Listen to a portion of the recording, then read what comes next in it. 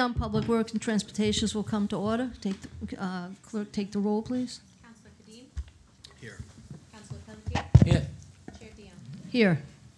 Pursuant to the open meeting law, any person may make an audio or video recording of this public meeting or may transmit the meeting through any medium. Attendees are therefore advised that such recordings or transmissions are being made, whether perceived or unperceived, by those present and are deemed acknowledged and permissible.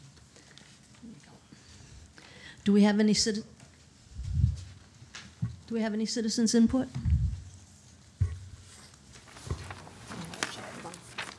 Is that next? Thank you.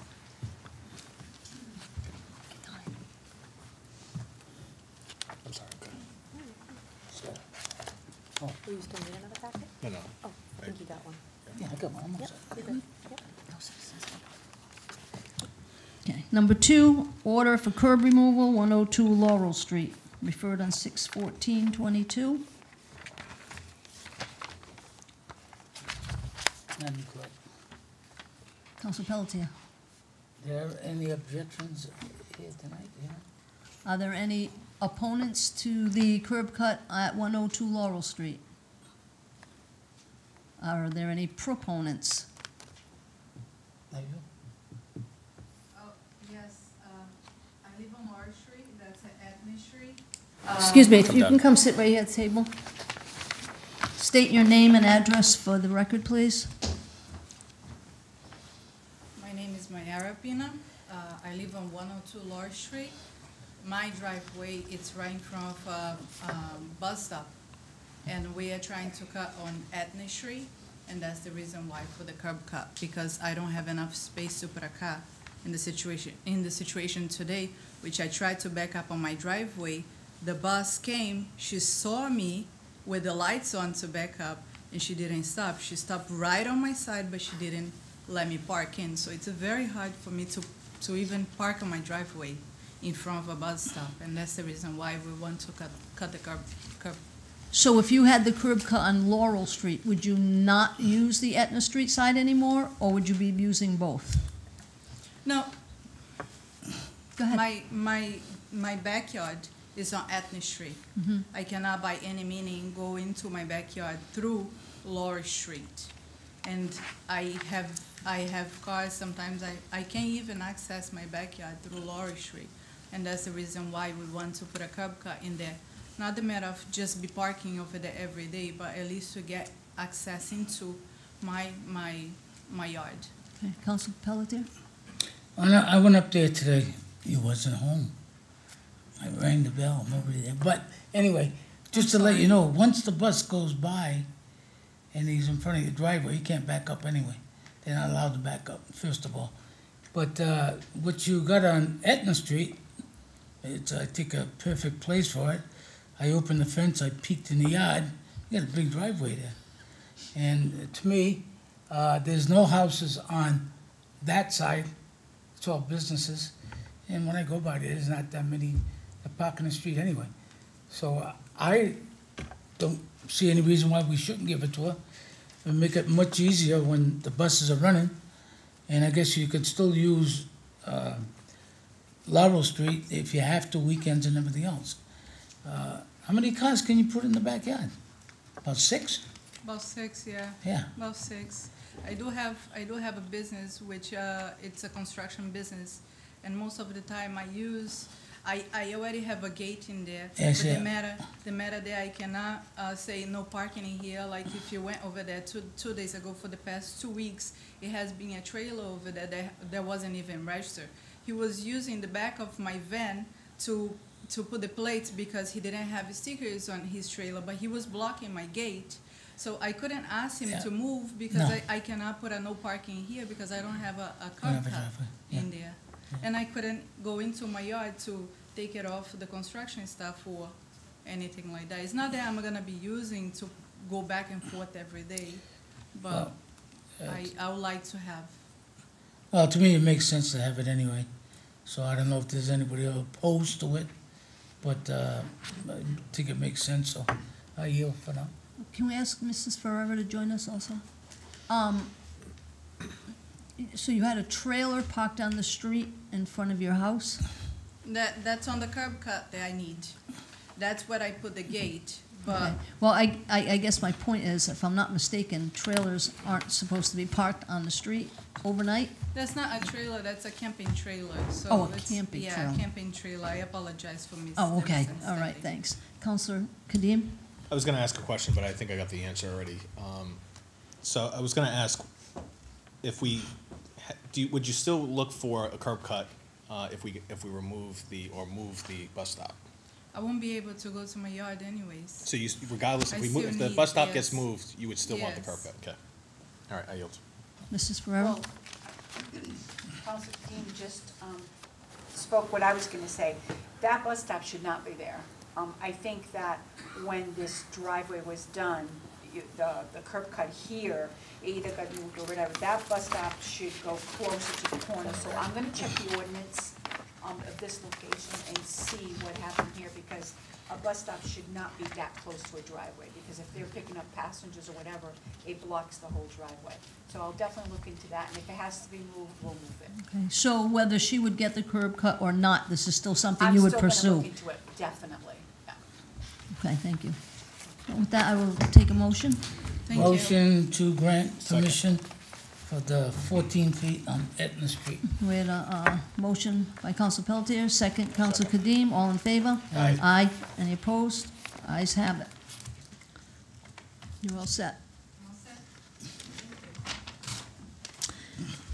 Number three was a resolution, Administrator of Community Utilities be invited to Committee on Public Works and Transportation meeting to discuss solutions to the flooding issues on Anderson Street.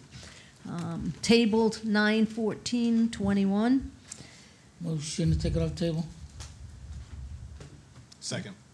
Uh, motion, Counsel Pelletier, second, Counsel Cadime, all in favor? Aye. Aye. Aye. Opposed, none opposed.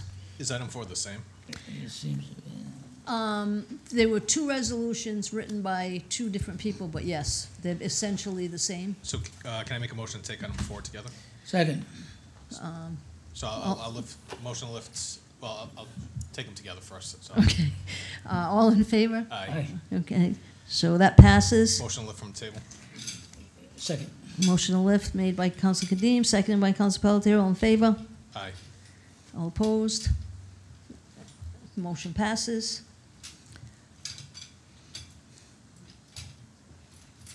Now, I know the last time that we were here, there was a discussion, and Mr. Ferland was supposed to walk the brook behind Anderson Street to see, I guess, how that, what kind of effect that has, if there could be any uh, help from, Yeah, definitely. Uh, So that was the last time that I was here. Uh, The council asked me to walk uh, what's known as Sucker Brook. Uh, So uh, I walked Sucker Brook pretty much from the Stafford Road, where it comes underneath Stafford Road, comes down, crosses Lark Street, uh, continues down behind uh, Anderson Street, uh, into Nightingale and Robbins, where those dead end at. It continues all through there. Uh, It's a pretty defined channel through that whole entire way. Uh, Pretty prickery to get through and get to the actual channel, but it is a pretty uh, defined channel through that whole entire area. The one spot where it starts to disperse off very well is further down next to the uh, 994 Jefferson Street complex. Um, So that's where it starts to go into that wetland. If you want, I can give you a little overview of the watershed. I didn't do any PowerPoints tonight, because I know sometimes you like them, sometimes you don't, but I figured I'd stick with my boards tonight, and uh, then we can uh, get further in depth if you want. But uh, essentially, so this is all Fall River up in this area, uh, Tiverton down in this area over here. Uh, Sucker Brook comes, so this is Stafford Pond underneath this purple area. Sucker Brook essentially comes from Stafford Pond. Uh, There's the dam on Stafford Pond, comes down through this area and then out into South Watuppa Pond. excuse me, where's Anderson Street in relation to this? So Anderson Street is right over in this area. Okay, right in the thick of it. Yep, exactly. So right where everything started to come down into that area. So there's actually two uh, primary watersheds that feed down there. You have the Stafford Pond watershed uh, and the discharge that comes off the dam at Stafford Pond, as well as this whole entire uh, Sucker Brook watershed area. Uh, So this whole entire mapping was just done, we defined all of these different drainage areas that go into South Watuppa Pond. when we were just doing the South Watuppa Pond study. Um, So this maps out what those drainage areas are and what the contributing areas are. As I flip to this, this was one of the outcomes actually of that uh, blue water project that we did for South Watuppa Pond. Um, As you know, South Watuppa Pond has an algae issue, we've been looking at that over recent years. Uh, We were able to get a grant to start to do some preliminary studies, uh, and we kind of looked at all the different watersheds that fed down into it and what the areas are, how we can benefit South Watuppa Pond, but an offshoot of that was also potentially how we could benefit some flooding areas that come down into South Watuppa Pond. This whole entire rendition was, uh, was done up as a potential, uh, solution, um, to get nutrients and phosphates out of the water that run through Sucker Brook. So Sucker Brook, so Stafford Pond is way back here, uh, over here is South Watuppa Pond. Uh, this is Atlantis Charter School right in this area, uh, and then Stafford Road is actually just off the map over here. Uh, fifty Anderson Street is this property right here. So again, Sucker Brook, defined channel, comes down under Stafford Road, uh, comes through, I believe this is Lark Street, um, that comes through here, uh, and then continues down, I said, like I said, in defined channel through this area over here. Uh, the other large contributing area that we have too, that comes down into this general area, um, is from the south. So, uh, as far back as, uh, Hancock Street, there's a, there's a channel that comes this way and comes into this area to join Sucker Brook, uh, to head over into, into South Watuppa Pond. Uh, through our integrated plan that we did back in two thousand fifteen, uh, some of the improvements, uh, in this area that we noted was to raise Dickinson Street and increase the culvert size underneath Dickinson Street. That was done when Atlantis Charter School, uh, built their school, that was done by the school. Uh, Spencer Street enlarged the culvert under there. Uh, last year, in, uh, September second of two thousand one, we had a heavy rainstorm that actually washed that culvert out on, uh, Spencer Street, and we went in, did an emergency repair, enlarged that culvert at that time. So this whole entire, what this is showing you here, um, is a project that we identified, uh, during the Blue Water Project. It takes and it revitalizes all of this wetland. That, so that wetland right now, if you've been down by the nine nine four Jefferson Street complex, so off to the right after you make that turn, there's a lot of, uh, invasive species in there, plants and stuff, a lot of sediment buildup that, that's in that whole entire wetland area, uh, that isn't conducive to help, uh, either the flow or the water quality in South Watuppa Pond.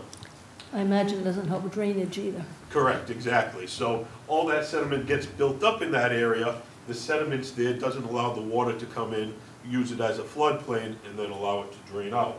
Um, so what we're looking at is to, you know, turn this area into more of a wetland floodplain area to be used for storage as it discharges out. Um, the benefits that we get, again, is phosphorus and nitrogen removal. Um, So this was done through the uh, South Watuppa project. Uh, We do currently have an MVP grant, uh, which we're gonna be working on permitting and design of this project, along with three other projects in relation to South Watuppa. Uh, That permitting design phase will be about a year and a half. Uh, So the MVP program actually provided us the funding. Uh, The council provided, with the Bristol County ARPA funds, provided us the match for that, uh, for that project. And I was just made aware that uh, Bristol County did approve the use of those funds. Great. So, um, so we'll be starting the design within this area. Uh, As to, you know, Anderson, Anderson Street, Endicott comes down, Anderson runs down this way. That property, uh, it, fifty Anderson Street is a very, very low property. Uh, it's actually within the FEMA flood maps, uh, the, almost the entire property. Um, So, you know, that is kind of a low point in that area. So what happens is when you get a heavy rainstorm, again, the water comes down through Sucker Brook, uses every area that it can as a floodplain, and that property, uh, just so happens to be one. You know, I know Mr. Barlow, the resident of that property, has made, uh, you know, he's, uh, built a garage, uh, a detached garage that's higher in elevation. I believe he just told me that he finished closing off his garage that went into the house, uh, to block any water from uh, entering the garage, because that was primarily where he had the flow from. You know, the other issue that we always have, uh, and Mr. Ball always talks to me about it, uh, in the winter is plow trucks go down plowing the snow. Uh, I make sure that the sewer department goes out there now to, uh, you know, as we're doing catch basins and stuff, that's one of their spots that they stop to make sure that the end of the street's clear. That's kind of uh, a broad overview where we are. For funding for this project, um, this was identified as potentially a five to seven million dollar project. Um, I'm hoping that potentially uh, floodplain management uh, through FEMA or hazard mitigation grant programs through FEMA may be a future option for permit, uh, for construction. Um, So again, we're looking at this project. uh, There is a current, uh, a current release out for those grant applications. Uh, We're not gonna be far enough along with this project to make this one, but they are coming out with another round really soon, so. uh, You know, this is one project we're gonna keep moving forward again, and that's, uh, should, you know, that's planning to improve the whole entire watershed as it comes down. Council Pelletier? Um, you know, this been kicking around for a while. And Innocent Street, and they get the complaints that are always flooding. And we had mentioned maybe we could buy the property, but I, don't- know if that was an option or not. But, you know, the administration uh, and, and you, uh, you're trying to get the money for it, but where's the administration fit with this?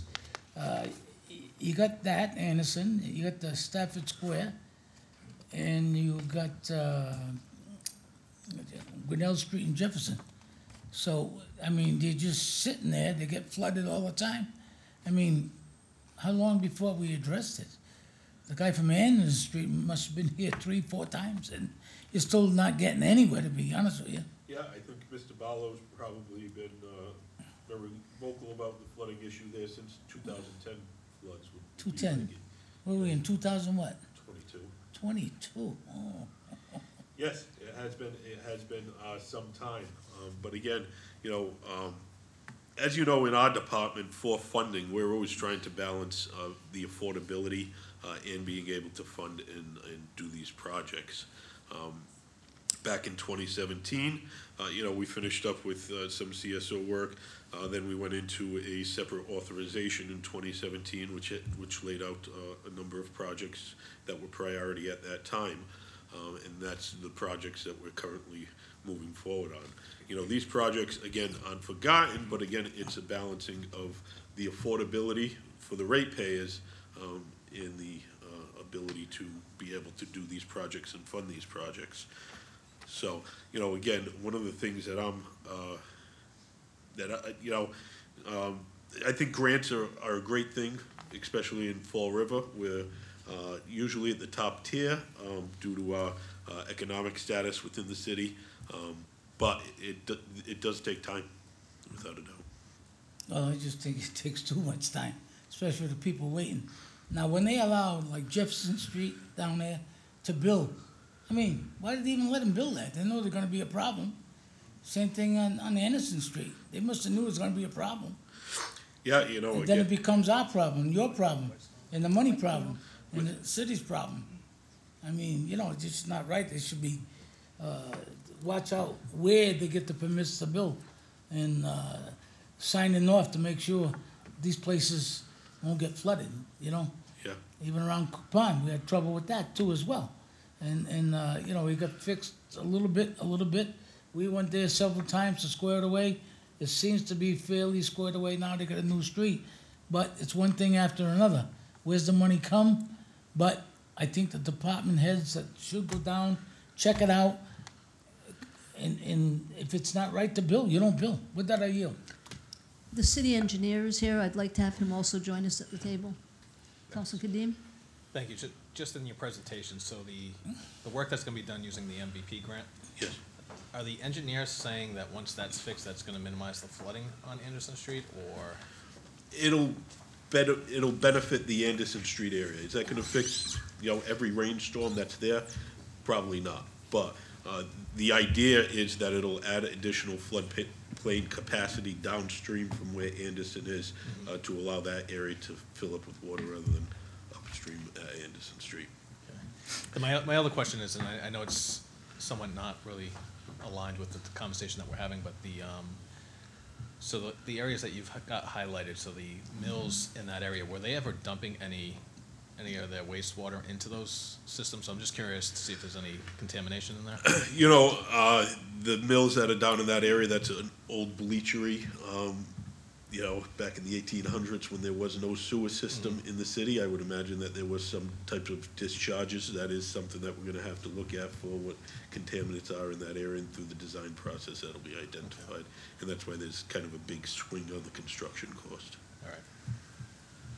All right. And the only, the only reason I asked was because obviously with the brownfield grants, uh, that's available through, you know, EPA, I, I don't know if we could- could leverage that and then maybe potentially do some additional design work or, uh, improvements in that area. Yeah, definitely. Okay. I yield. To Mr. Aguirre? Great. Uh, For anyone who doesn't know me, my name is Dan Aguirre. I'm the city engineer. Um, I was asked to come this evening, I think just for item number six, but they're all kind of in the same general realm. So if I could add this, I heard Councilor Pelletier ask a question about how things get permitted over time and, and what happens as we, you know, progress through time. I've been here since January. Um, Paul has been here much longer and has been dealing with these situations. I think it's pretty well known worldwide, the increase in storm events. So when we have drainage systems that are designed for a certain rainfall intensity, and by that I mean a certain amount of inches over a certain period of time, it's been well documented around the 2010-ish time when we had the real big rainstorm with the Mount Hope, the, the rainfall intensities that have been occurring, we don't get an inch of rain today, an inch of rain tomorrow, an inch of rain Thursday. We're getting four inches of rain in three hours. Storms like that, that drainage systems are not designed for. These antiquated drainage systems, as well as the natural drainage systems like, like a brook. So the drainage situation that everyone is seeing here, it's not specific to the city of Fall River, it's to the world, because the rainfall patterns and how things get designed are done much differently. Under current standards for site plan review and different types of building permitting processes, the, the committee uh, and the council has put together site plan review and those types of things to take a closer look at this stuff when things get constructed. So over time, as things get built, people create more impervious surfaces and more driveways to park, bigger houses. That, that leaves less land for water to be absorbed into the ground. Now, this situation where we have a downstream flooding area, which is the wetland that, that Mr. Ferland was talking about, yes, as that fills up with sediment, it's like if you take a bathtub and you fill the bottom four inches with sand and you turn your faucet on, that, that tub will now hold less water than it would when it's empty. So as all of this water comes out of the faucet, which is, let's say Sucker Brook is the faucet, feeding into this bathtub of, of the down gradient wetland. When you're starting with a situation where the bottom of that bathtub is already a quarter of the way full, that's less water to hit the tub. So once you wanted to put that same amount of water or more because of the increase in rain, once you hit the top of the tub, the water is going to overflow. It's going to overflow the banks of Sucker Brook. It's going to overflow any street or catch basin. So moving forward, we do need to upgrade, upgrade all the stormwater management systems that we have, you know, in our streets. But that comes at a great cost, as, as Paul well knows. Um, I've looked at the numbers and some of the estimates that he's had by different consultants, and, and these are estimates that were put together quite a few years ago. We may find that they're even drastically more increased. So I think the problem is, is well noted and everyone is well aware of it. It's just a matter of like everything else, how do we fund it to get, to get these situations resolved? This property on Anderson Street is very particular where I think Mr. Barlow bought the property around 2010. Uh, I think it was only built maybe 10 years before that, I believe. Um, This property is in a flood hazard zone on a FEMA map. It's in an A zone. Not just outside of it, not, you know, it's, it's, it's in a floodplain associated with Sucker Brook. On top of that, when the original owner built the home before Mr. Barlow, if you get down there, you'll see that the garage doors and the driveway are below Anderson Street. So if the house was built properly back whenever it was built and went through maybe a site plan review or things like we do now, the house probably would have been raised three feet to what it is now, and we wouldn't be having this issue.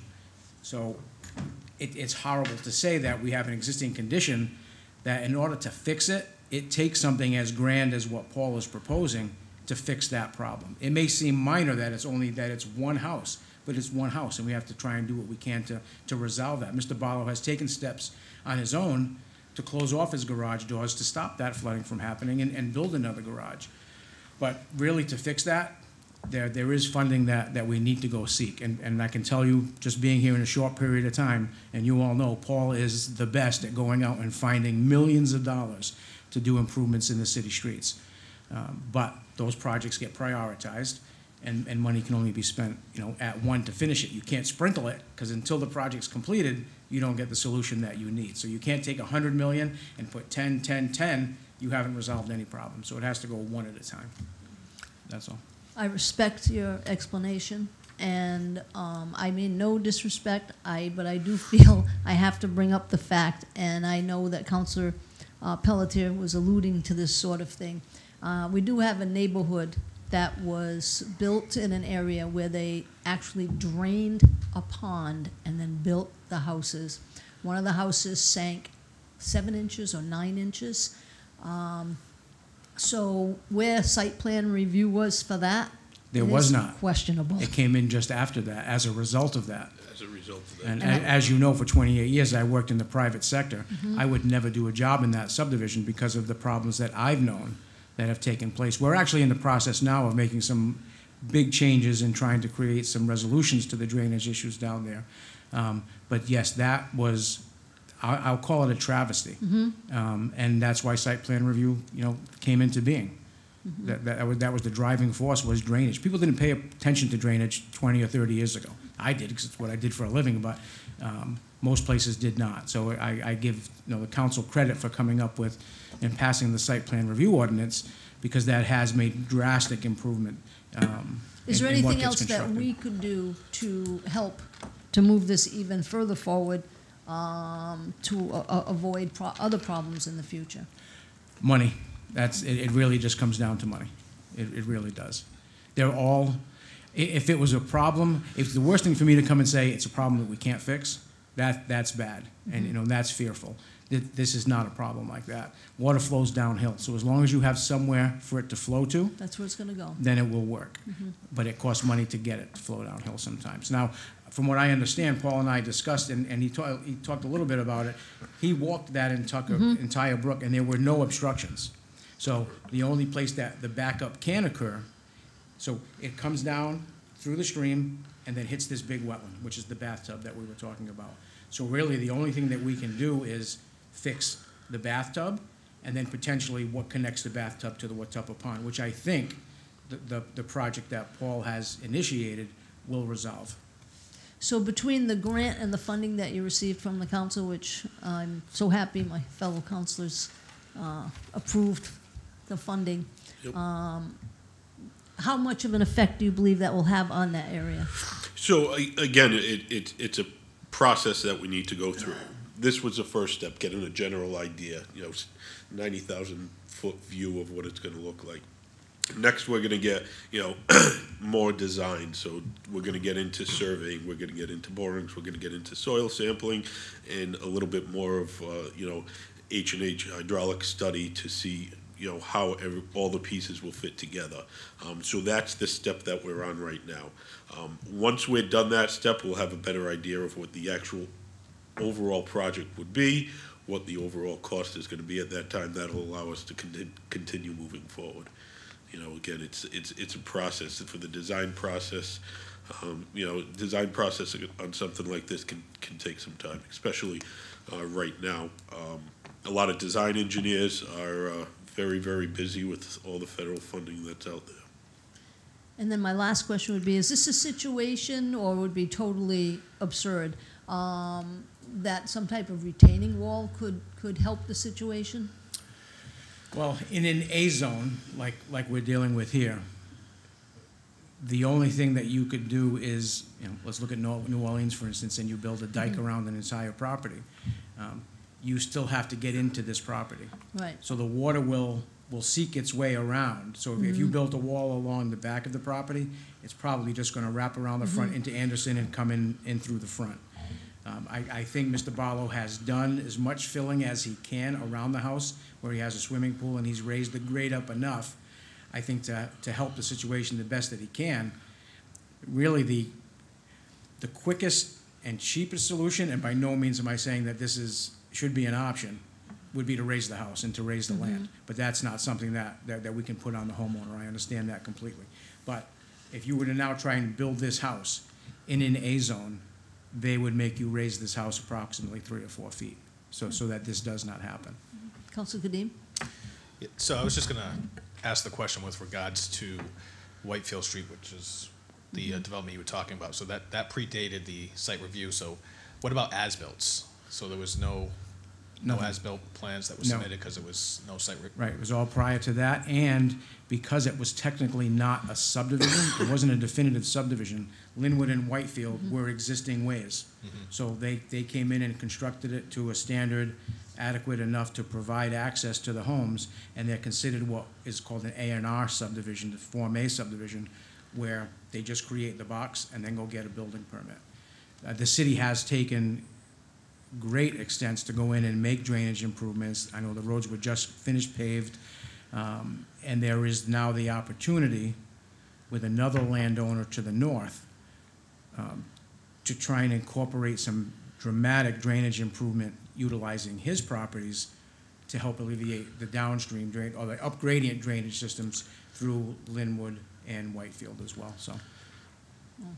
So, uh, in, in terms of the zoning ordinances, are there any changes, or do you feel comfortable with what's currently in our ordinances to, to give For you the zoning tools? or for site plan review? Site- Uh, both, planning and, and, Um, zoning is, I mean, zoning is fairly antiquated, you know, it's Yeah. been around for a long time, so there, there are some changes to be made. I was brought in to look at some of those things, and once the reorganization went through, I would be in a position to help move that along, which, thank you for, for passing that, so we can start to do that work.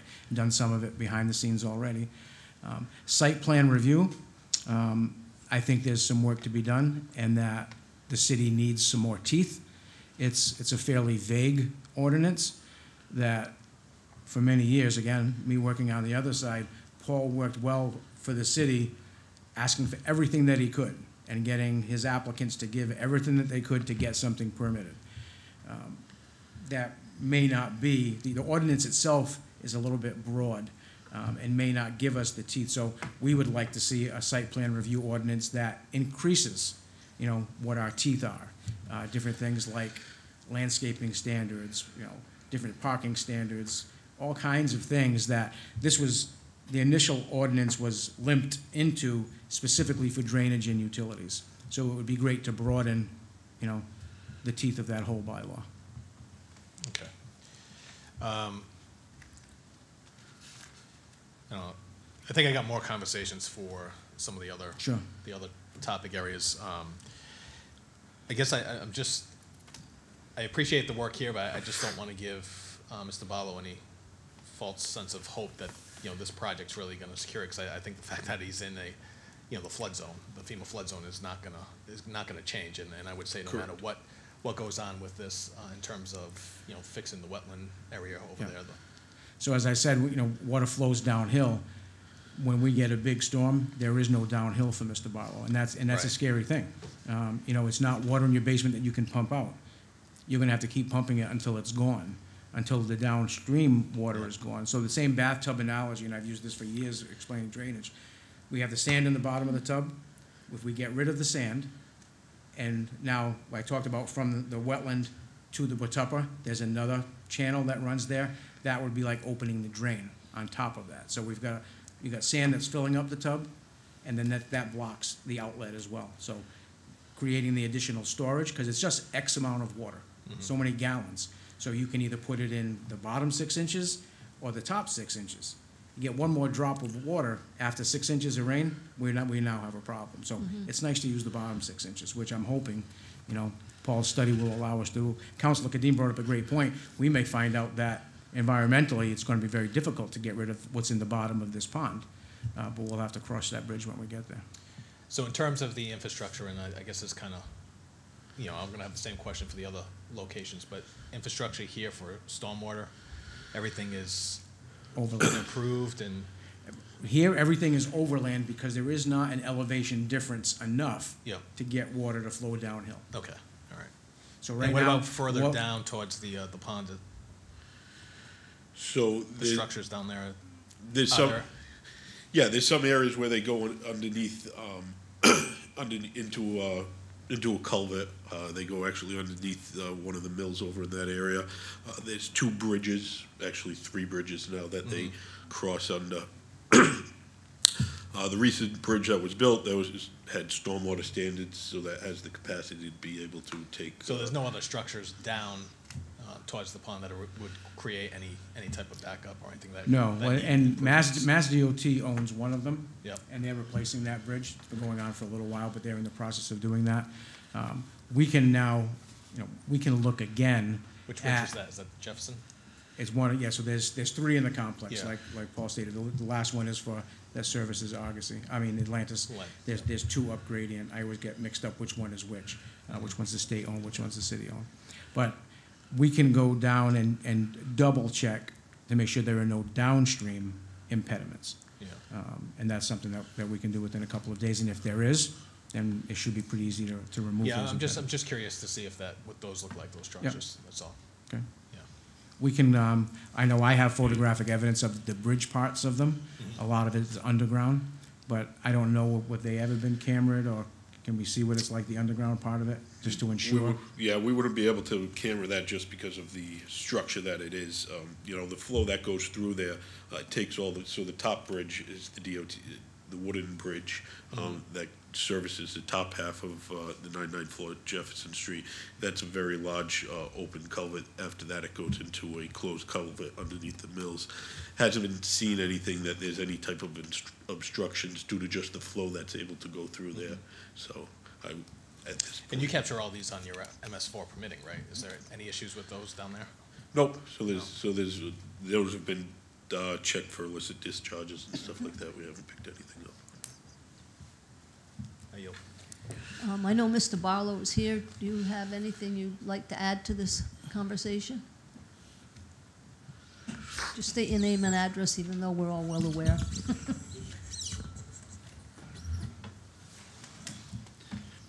Richard Barlow, 50 Anderson Street. Um, My just question is, you know, when the Sucker Brook, when it comes down, if that could just be opened up more to the bleachery pond, like, you know, a channel dug in, because it gets very narrow, it's only going through pipes about that big, you know? So if it was opened up more to that bleachery pond, and the, the pond before that, where it's like all wetlands, because I walked back there, you know, during a lot of flooding, like last year when my, when flooded, and there's a lot of space where that water could go, you know, um, which would probably be a lot less money if that could just be channeled over that way. I mean, I don't know. Yeah, so as it, as it comes down through to your properties over here, as it comes down through here, it's a pretty well channelized, uh, area, uh, until it gets to this area, it starts to Right. kind of scatter out all over the place. Right, that's what I mean. So if it was, if it stood in that, they continued that one channel and opened that channel up to, right to Bleachery Pond. Well, so, so Bleachery Pond is over here. Right over there, right. Bleachery Pond is elevated from, from this area. Your area actually flows through, uh, and there's, a- there's an outfall from Bleachery Pond that comes down into here and flows And up then this flows through. You can, if you come up here, you can see this blue line. So this comes down, you know, and it runs behind your house as well as a Right. tributary. Sucker Brook does this. Right. So Bleachery actually drains into this wetland. Yeah. The, the idea is to lower That, and clean out That- that that- wetland that so was that the before. water has somewhere to go. Yeah. exactly saying, you know, you know, every time I did call Paul, you know, he responded pretty quickly, like I said last time. And, um, I did close off my garage and putting a window well around the garage, the, that one doorway, so, you know, hopefully that will help out with, uh, some of the water issues that we have. Like, Just out of like Mr. curiosity, Aguirre said, it it is, how high- when it is, How high is the water really, like, on the side of your house? Like in relation to, I'm just curious about how high it gets. It's I just mean, the last, the last flood we had. the highest ever. that you've The highest ever was back in two thousand ten, it was probably about two feet. Wow. So it's two feet of standing water around the house? Yeah, when, um, back then, and then it, well, it went down very quick. It's not like it stood there for long, it went down very quickly. No, but it, it does damage quickly. Mm. It does do damage quickly, and then last time was, uh, last year, and September second last September year, second, pole came right down, and, uh, you had about four inches of water yeah, because the inside the inside house. of the garage, which a lot of the stuff got damaged in there because it just filled up with water, but because I plywooded the whole inside and I cleaned it all with Flex Seal, the stuff does work. Um, First thing in the world. It did, it did keep the water from going into the house and, you know, with the door closed and towels and everything else and wet vacs, we were able to keep it really from damaging the house. So it did help a lot. Um, but the water did rise up pretty high. Um, so, uh, so I know the city's really strapped with money and it's, it's not easy to fix all these problems. And so that's why I did a lot what I did to try to fix a lot of the problems, like with the street. I mean, the, my driveway, because when they did the street, that was way before your time, they pitched it right into my driveway. So every time it rained and stuff like that, all that debris right into my driveway. So I raised the driveway, pitched it out.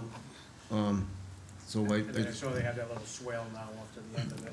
Yeah, which probably needs to be redug again. I Well, I mean, looked at it today, so it's, there's a couple of rocks, there's some grass clippings. It's- it's all- pretty- Yeah, I mean, I cut all that grass over there in the, the dirt street right there, you know, that paper street, I cut all that all the time, try to keep up with it, but, uh, it just needs a good catch basin or something for that water to go into, like Paul said, with the plowing issues.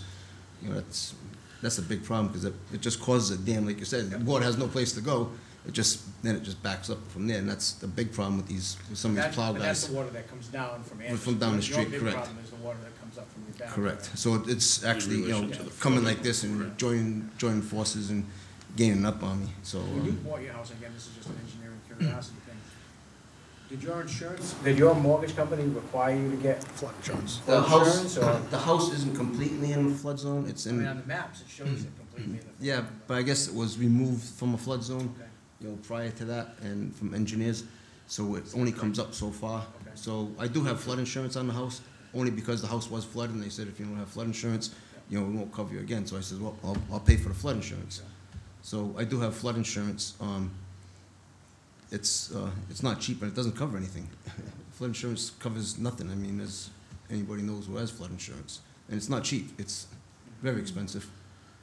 And uh, to try to sell a property like that now, knowing that it has, you know, flooding issues, you know, how much would I get for a property like that now? And to find a property like that, I mean, it is a good piece of property, it's a good, Yeah, no, it's a nice spot. it's a nice piece of property, and, uh, It's well kept. I'd like to try to do everything I can to work with the city, like I said, to try to resolve the problem. That's why when I built the second garage, when I closed off the garage, I raised it up higher, so that last storm we had, I didn't get a, a drop of water in there, because I did raise it up enough, like you said, you know, raising it up higher.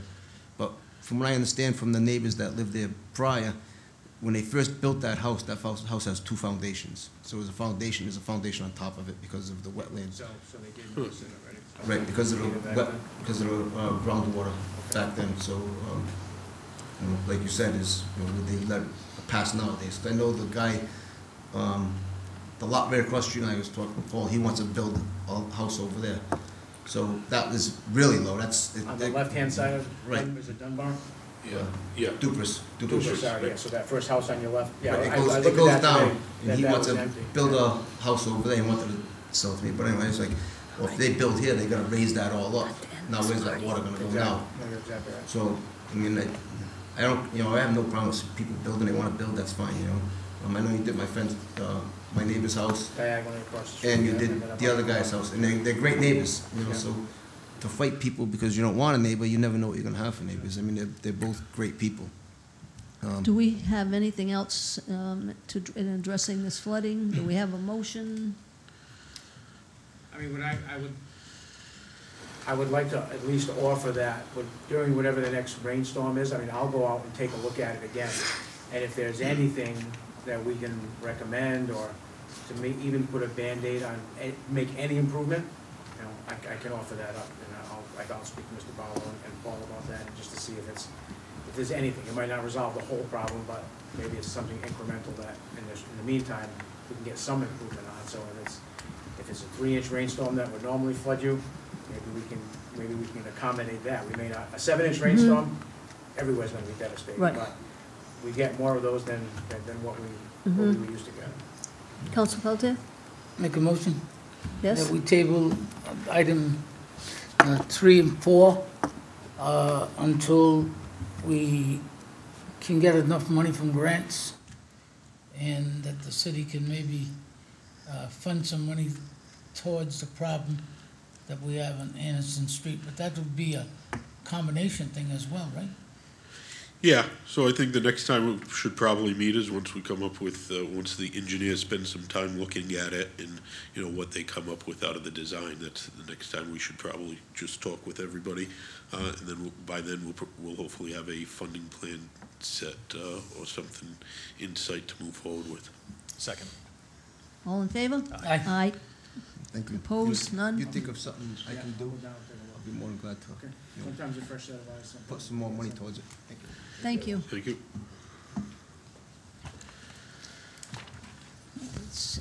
Item number five, resolution, City Administrator, Director of Financial Services and Administrative Community Utilities be invited to the Committee on Public Works and Transportation to discuss solutions to the flooding issues connected to the Stafford Square area. Referred nine fourteen twenty-one. Council All right. Pelletier. Mr. Ferland, very easy to do. If it was, Put the big pipe Stafford Square, hook it right at the Quequechan River, them buildings, but that's illegal, right? yeah. That's the only way you can straighten that thing out. No, uh, no, but that is the general concept. Yeah, But there's just a Well, lot that yeah, goes along he's with talking it. forty-two million dollars. I mean, It's a- it's it's a- crazy. It's a big drainage area, and it affects neighborhood on top Yeah. of neighborhood. I mean, you don't understand, everybody says water flows downhill, Yeah, it flo- it all Yeah. flows to one spot. So, so Stafford Square, if it was an easy fix, I'm sure the city probably would have. They probably would have done it by now. There's photos we have from the fifties and sixties of cars going through the, you know, two feet of water through that intersection. I'll flip my page. Talk a little bit about this uh, drainage area there. So, Stafford Square, just for reference, Stafford Square, the area that floods is right down here. This is Eastern Avenue. Up here is Bullock Street, Locust Street, The Oak Grove Cemetery, so you're talking over a six hundred acre drainage area that comes down to this one point. Um, There are multiple different um, drainage systems. Uh, So on this map, all the green is the sewer system. Uh, The magenta color is the, uh, is the separated drainage system. There are separated drainage systems that run through this area, but they're not big enough to handle the amount of water that's, that's coming down through this area. Again, you're talking, this go as far back as Bullock Street, uh, all this water, all this water coming down to this, to this one point. Uh, And then, as you said, trying to make its way out to the Quequechan. Uh, So very difficult. There- There's multiple different options that we looked at uh, for this project. You know, we looked at, is it cheaper, so we take and we put a control structure on South Watuppa so we can drop the Quequechan to get the water out? Um, Do we take and dredge out the whole entire Quequechan to make additional storage capacity?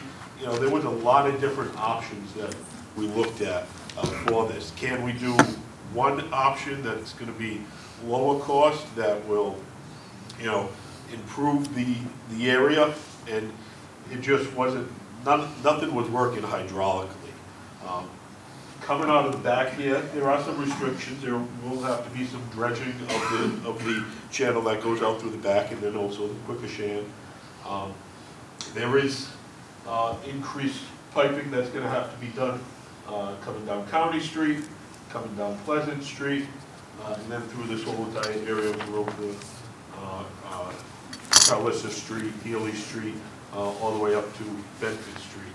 So, you know, Stafford Square, we get the the flooding deep uh, on Stafford Square area.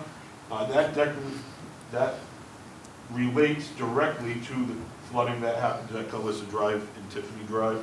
Um, And then also as far back as Bedford Street. So that's the tailwater from the flooding that happens over here. So the flooding that occurs in the heavy rainstorms next to Columbus Park, that low area there, is all related to Stafford Square. Uh, So, a couple of different big things that we're dealing with. There used to be a large quarry up in this area. We're dealing with the drain that comes out of that quarry that comes down, the old uh, quarry drain. Uh, There's another White Brook drain that comes down through here uh, and out through Stafford Square. And then there's also another drain older drain that comes down Pleasant and then also goes out. Um, Overall, the study that we ended up doing, so part of the integrated, uh, the uh, authorization that, uh, that we had um, allowed us to take and start a study of this area. So we, we had one of our consultant engineers go into this whole entire area. Uh, we've surveyed all the manholes coming down through this area, all the catch basins. Uh, we've, uh, we've done flow monitoring on them, both the sanitary and the stormwater systems. Because the other problem is, you get up into all these areas that don't have the separated drains. That's the catch basins going into the combined sewer. So by the time you get to Stafford Square, you have combined sewer issue, plus then also overburden drainage system. So it's two issues that you're dealing with at that one point. Um, So they did a lot of modeling through that whole entire area. Um, What we're working on right now, uh, we're putting together a application uh, for the hazard mitigation. We plan to submit it for hazard mitigation uh, and the BRIC program. Um, So this whole entire project was, was three phases, uh, and then an additional um, green infrastructure phase that could have been added on. First three phases were a total of forty-five million dollars. The green infrastructure phase uh, was, was an additional six million. Um, So what we ended up doing for the hazard mitigation application that we're gonna be submitting uh, is, is we kind of took phase one and phase two. So phase one and phase two really looks like it's gonna solve majority of the flooding through that intersection. Uh, That's gonna include going back, installing larger culverts running down through this area, larger culverts running down County Street, increase some of the culverts coming down Pleasant Street, separate out a lot of the, uh, a lot of the combined catch basins that go into the sewer, pull those out of the sewer, put them into separated drain lines, dredge out and clean the channel that, that heads out towards the Quequechan and certain, clean up of certain areas of Quequechan River as well, to increase that flow. Um, so that brought that project down to about thirty-two million dollars. Um, through the hazard mitigation plan, uh, and I'm in contact, uh, we, we're applying to MEMA, MEMA then applies to FEMA. Um, and they're, they're excited about this project, they like this project. This is the same funding that we got when we did the Middle Street project. Um, so we got, uh, over five and a half million dollars back when we did the Middle Street project from this same program to be able to, uh, do, uh, flooding, repairs. Uh, One of the biggest things with this program is making the cost-benefit analysis um, through FEMA's structured cost-benefit analysis program, making that work so that it's above a one. Uh, So your benefit is higher than your cost. Uh, We went into a lot of buildings in that surrounding area, we were able to get uh, base level elevations. Uh, With those base level elevations, we were able to uh, show potential inundation if there was an issue, which brought a lot of our, a lot of uh, uh, BCA calculations up as well. When this intersection is inundated, there's a healthcare facility um, over on Quarry Street, which is impacted, as well as uh, service vehicles in uh, regular, um, you know, normal access through that area. So the biggest hurdle through that whole entire process that I feel was the cost-benefit analysis evaluation, which we've been able to, uh, which we've been able to prove. We've submitted that already to MEMA for their initial evaluation, to go through, make sure that they agree with all of us. Uh, The full application date is uh, December 5th, which uh, we're on track to submit the application for funding. Now, this particular agenda item is directly connected to a resolution that Councilor Pam Laliberte had submitted, um, specifically 10 Tiffany Drive and Carlissa Drive. Yep. So everything that you just discussed will affect them how? Will it help mitigate their problems? And what is the timeline on it, if it will? Yeah, so again, all, of- all of the, all this planning, all of this work that would be done would, would mitigate their problem. So the problem with that, if you look at the topo elevations, um, Stafford Square, you're at one thirty-nine, one thirty-eight or so in the low point of Stafford Square. Uh, you go to Carlissa and Tiffany Drive, you're at one thirty-nine. So even though they're far apart and you go up a little bit and down a little bit, the actual elevations are almost very, very close. So that's why when you get the backup in Stafford Square, you also get it on Carlissa Drive, because it's, at- water seeks the same level. Um, You know, and it's not able to move down through that system and out to the Quequechan. So again, uh, this project would, uh, repair the issues over at the Calis- Calissa and Tiffany Drive. Uh, Phase one and phase two as, as we've planned it out. Um, The, uh, the timeline for the project, again, we submit uh, coming up. Uh, When we did Middle Street, the review process through FEMA was pretty lengthy uh, when they reviewed, and by the time they awarded, I believe we were a, a year or two uh, on the review process till we were able to access the funding. Uh, At that point, we were able to move forward with the project. Uh, Construction timeframe on this project, I would expect uh, between full design uh, and construction to be uh, probably a two to three-year timeframe. Um, You know, this is a busy intersection, a lot of utilities that we have to relocate, uh, reconstruct. The project also includes reconstructing um, the whole entire intersection, all the signalization, sidewalks, paving through that whole entire area and stuff like that. Yeah, I mean, I definitely can feel for these people. I was Without somebody that was severely impacted when Mount Hope Avenue erupted. I was end of the line, got it all. Um, I mean, you're talking thousands of dollars in damage, so I, I can fully sympathize. Is there anything that we can do now um, to help them to any extent? I mean, you know, I mean, it's great to hear it'd mitigate it. It's great to hear. Hopefully, we're going to do it. But when you're having that kind of damage and, and you're getting flooded, two to three years is a long time. No, without a doubt, it, it definitely is. You know, again, through this whole entire area, uh, we looked at every potential easier, cheaper, quicker option that was available to us. Uh, you know, our crews have been out there, uh, over the years cleaning all those drain lines, making sure that everything's, uh, open and available. Uh, in the parking lot of, uh, of the Flint Village, uh, shopping plaza there, there's a sedimentation basin in there that we clean out regularly. Um, you know, it, it is, a tough circumstance, but, as, you know, um, Mr. Aguirre said, the, um, the intensity of these rainstorms uh, are drastically changing. You know, uh, when you're talking, you know, September 2nd of last year, that impacted Mr. Paulo, impacted, um, you know, Culliser and Tiffany. You're talking six and a half inches of rain in six hours overnight. Uh, it was a pretty substantial amount of rain. Yeah, my yard was flooded again. Yeah. Most people's were. Yeah. Um, do we have the resident of 10 Tiffany Drive here? Yep. Would you like to speak? Ask any questions? Council Cadime, I'm gonna let Council Cadime ask questions. Um, Just in terms of the funding, how much funding have you had besides the hazardous mitigation for this project, for the study?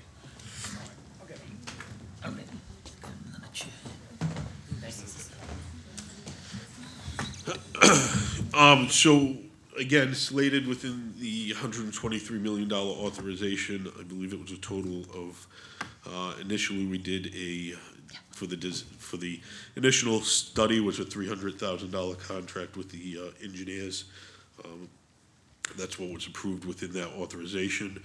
Uh, we've taken and been able to, uh, put some additional funds, uh, from some other flooding, uh, authorizations, uh, so we've put in roughly about five hundred thousand dollars, I would say, at this point. Okay. And then phase one, phase two, you said is how much? So phase one and phase two is uh, estimated right now at thirty-two million, Thirty-two, and then forty-five if we do the three phases. yes. Okay. So you're looking to do phase one and two with the application to, for the hazard mitigation? Yes. Okay. And then what is phase three, and I guess where, where are we anticipating that money coming from?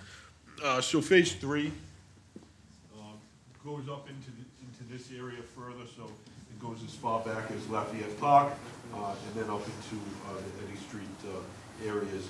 Um, I think at this point right now, phase one and phase two is a, uh, is a very good start, so then we can evaluate and see how much of phase three potentially would have to be built out to um, help those, those upper stream areas.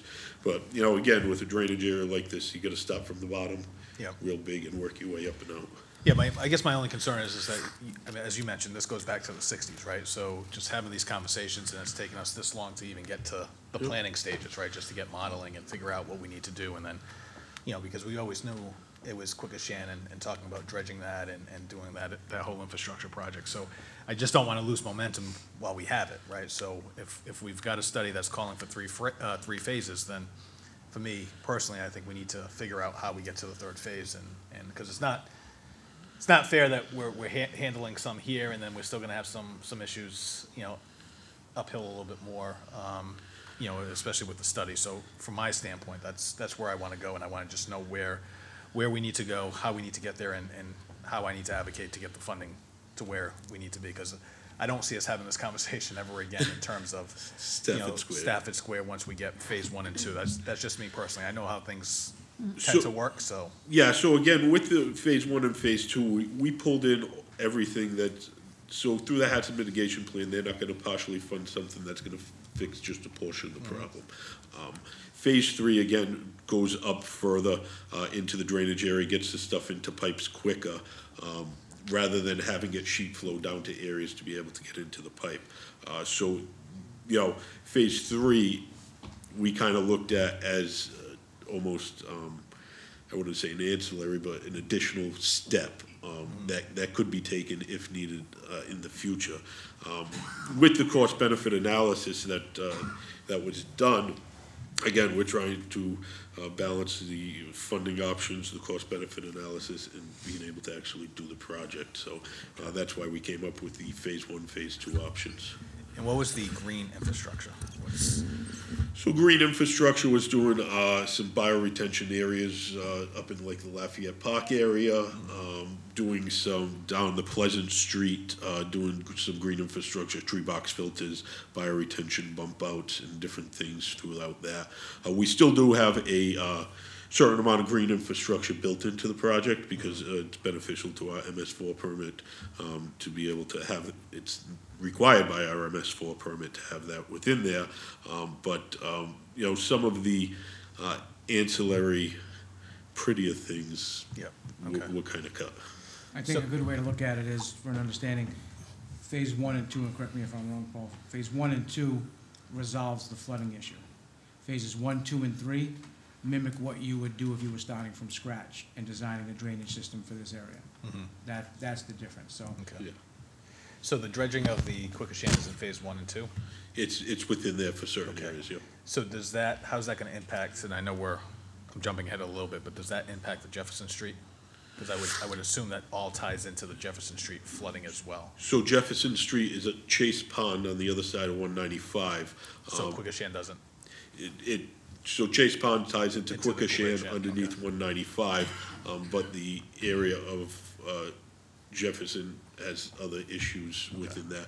The overall dredging, um, the overall dredging that is required, uh, potentially could be permitted at the same time. Uh, it would be something that we'd be looking at doing if we're gonna be going through that type of permitting, because Yep. that's a pretty heavy lift for permitting to be able to uh, dredge out those areas. So it's something that we're keeping in mind uh, to do full dredging of potentially both of those areas. So now, what, what about the, uh, the infrastructure going out to the Quequechan, to the, to the Mount Hope Bay, is, uh, Taunton River? Is, So- what's that infrastructure look like? So that's all in, good- all in good condition, and I apologize, my allergies tonight are just uh, a little crazy, but, uh, so those are all in good condition. Uh, Back in 2014 or so, uh, we reconstructed the inlet at Plymouth Avenue, uh, as well as the uh, gates at Fourth Street, right across the Yep. street here from City Hall.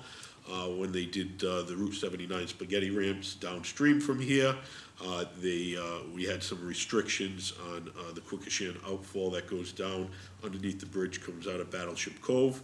Uh, Mass DOT repaired that, and then also we had the, we had the Firestone culvert that goes over to Crab Pond area, uh, over by the Firestone complex, and then discharges out into the bay. They clean that whole entire culvert underneath the mills running through that area. So uh, the Quequechan from that down is, uh, is in good condition. Okay. And you said two to three years from design to completion? That's, that's our expectation of uh, how our plan is now, roughly. How long we anticipate for, I guess, a response on the, uh, hazard mitigation funding? So again, uh, on the Middle Street project, that, that was lengthy. I want to say it was almost two years till, till we had a response. Uh, of approval to be able to move forward with the project. I think since then, that was a number of years ago, FEMA and MEMA have uh, worked better together to be able to get those responses out a lot quicker. Okay. With that, I yield. So we're looking at a, a minimum thirty-two million to forty-five million for a total project? Is that what you said? Uh, So so I'm expecting to put in the grant application for 32 million. Thirty-two million. Um, do you have any anticipated amount of what you think you'll be approved for, based on past history? You know, again, I, I can't say, I can tell you that the match, depending on the program, the match is either ten percent or twenty-five percent. Um, The one that's twenty-five, which is the BRIC, uh, potentially can be dropped down to ten percent. Um, So that's, uh, you know, something that we're hoping that we'll be able to uh, do. My, eh, my hope is that if the project is funded, it would be fully funded at thirty-two million. Council Pelletier? Well, you know, I get an education here tonight, I didn't know it went as far as it goes, but like you guys say, it flows down, it flows down.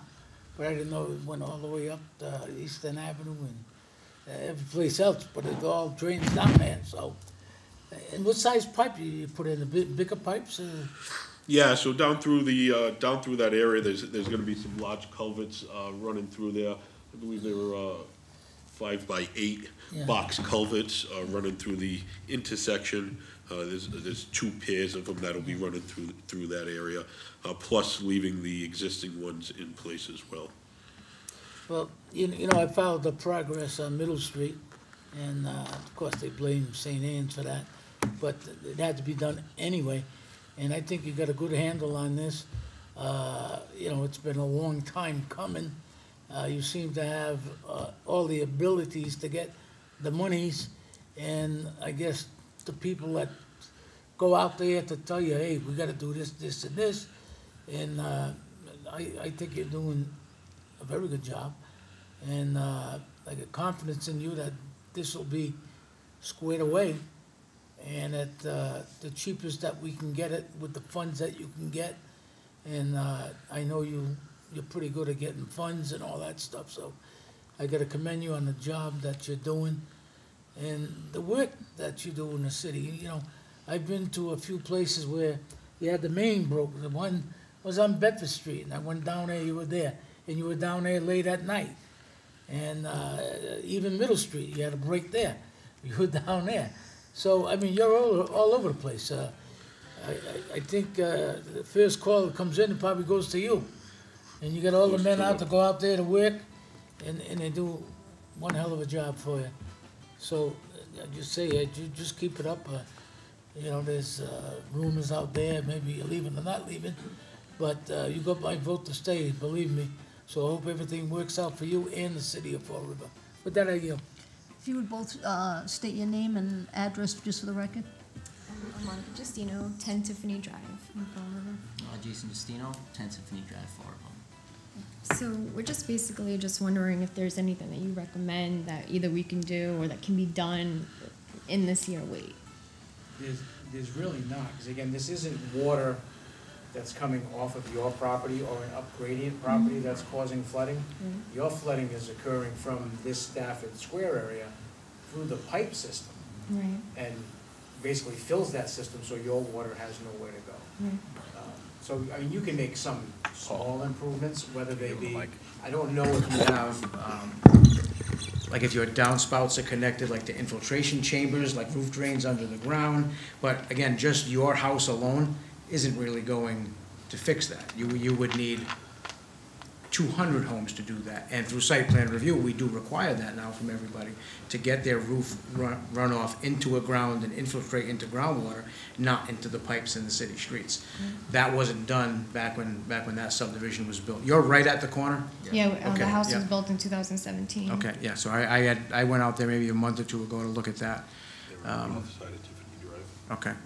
Um, and you just happen to be, you know, the catch basin that's at the entrance of that subdivision road is the low spot. You stand there and look around, it's uphill to everywhere. So even when that water gets filled, it's just gonna keep rising until the bottom end of it can alleviate that from happening. So, So now to fix that area would be bigger pipe. bigger pipe from your street all the way down to the Quequechan River. All those pipes would be enlarged and increased. That's this whole program, and that's what costs, Yeah, because we you know, just so installed like a vinyl fencing, and we just had like one whole side like last September that we had to like replace. Short, Yeah. Like short time after installing it. So I was just like wondering if Was there's it anything that September that- storm that, that, that Yeah. storm? Before Yeah, it that, happens Okay. before that, but Yeah. not in that volume. Of course, that volume Right. was understandable of how much rainfall we got. Nobody could have predicted that, but the damage from the fence, like it's still like kind of like Boeing. Right. But any impact of water now with the pressure just causes damage, and we're trying to prevent to have to keep replacing it on a yearly basis throughout five years or so. I know, it's, I- I wish there was, this- I wish there was a simple solution. I wish there was, I I wish there was a hole in the ground fifty feet from your Mm-hmm. house that I could say, just run, we're gonna run a pipe from there to there. But that hole doesn't exist. That, that, that's the problem. It's, it's stressful, you know, it's, Especially because we weren't disclosed this information. We Right. specifically Of course asked not. if that Yeah. area was prone to flooding, and everybody said, no, no, you're fine. No flood insurance involved. Nobody ever told us that we ever needed it. Yeah, flood insurance is different, you know, Yeah, depending 'cause upon there's where no- you're at. You're not in a exactly. flood So, zone. Right, you know, and that that's the problem situation that of we run by too, so nothing. but is especially going putting your life savings into something. understand and, completely. You know, Yeah, it's so, very stressful.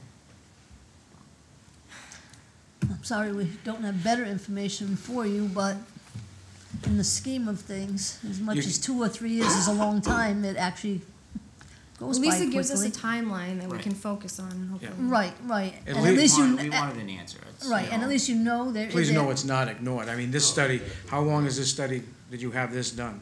So this has been sitting for a while. He's just now getting to some funding opportunities that have the ability Which we to do it. appreciate that Yeah, very we much. definitely do. And what I'm glad about, Mr. Barlow's been on, d- dealing with this for twelve years, and he has no answer. It is what it is, his house is too low, and he's just gonna suffer this as long as he owns his home. At least in your case, there's, it's gonna be mitigated, it will be fixed, and someday, and not so far down the road, you won't have these problems anymore. We So at least that. that's some solace. Right, I wish we could give you absolutely. more, but I'm glad that at least Yeah, there at least some that shed positive some news. light. Yes, Right, exactly. exactly. Positive Yeah. always helps. I'm good, I'm good. Again, pending the funding, you know, one thing that the council is always supportive of, of all these grant funds. Our local delegation is always supportive. Uh, we'll probably be looking for other letters from other people within the area too, when we're submitting, finally submitting that application, so. It would be nice if they got an answer back to you quickly, and if there were any additional funding necessary, that we could vote for some more ARPA funding to help you out. Do- without a doubt. Well, I guess, Council Cadime? So I wasn't gonna go there, but I'm, I guess I'm gonna go there. Uh, so the ARPA money, so we can't use ARPA money if we're getting additional federal monies. Um, At least that's my understanding. So I, I guess from, from a funding standpoint, um, we're not taking into account the use of ARPA money? I mean, I guess for the study it's okay, but for Right. the project itself, So, so at this point, we haven't been looking at ARPA funding because I've been, I've been working probably four months now on this HMGP and, and BRIC funding application. Okay. Um, you know, it's, it's pretty substantial. We've had to have surveyors go out, like I said, and stuff like that, so we've been working towards that. Uh, again, with the project of this magnitude, um, you know, I think I told this council when ARPA was first out many times, I could have taken all the ARPA funding and Yeah. spent it very quickly with, with the amount of work that needs to be done citywide. Um, so, you know, uh, again, ARPA funding at this time, you know, if we move forward with this, if, you know, a grant is approved for three point two million dollars, uh, I would hope that, uh, within, uh, uh, overall, uh, CIP and, and spending plan, that we'd be able to, afford an authorization of either the ten percent or, or a match. and of then that's fine. I just want to make sure we weren't banking on any ARPA money, because if it's, especially if it's Bristol County, it's going to go through two reviews uh, for an auditing firm, and they're going to, they're going to kick it out if- if they find out we're uh, getting any type of federal assistance for this Yep. project, so, okay. I yield. Do we have a motion? Uh, motion to table till we get, uh, funding from whatever resources that Mr. Ferland feels like you, he can get it, and come back and ro- report to us when you can start the job. You start tomorrow? I wish I, I wish I could start all these tomorrow. Yeah, so, I mean, uh, we're doing our best. It's been there for a long time. I think we're moving ahead, and I think we're gonna see some solution very So- shortly. Second. All in favor? Aye. Aye. Opposed? Motion carries. Thank you. Thank you. No, thank you guys Thank you guys much. very much. Thank you. Have a good night. So, thank you. Item number six, a resolution, Committee of Public Works and Transportation meet with the residents of Grinnell and Jefferson Street areas, the administration of community utility, administrator of community utilities, city engineer to discuss flooding issues, referred October eleventh, twenty-two.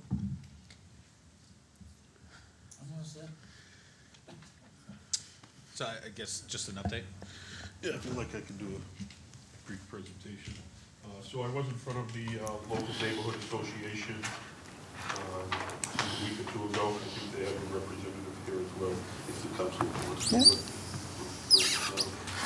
Um, So, uh, just for reference, Quequechan Street comes down, this is Jefferson Street, uh, heading up to Brayton Ave here, Rodman Street here, Warren Street running this way. Uh, so this is Walmart, this is the old Sam's Club.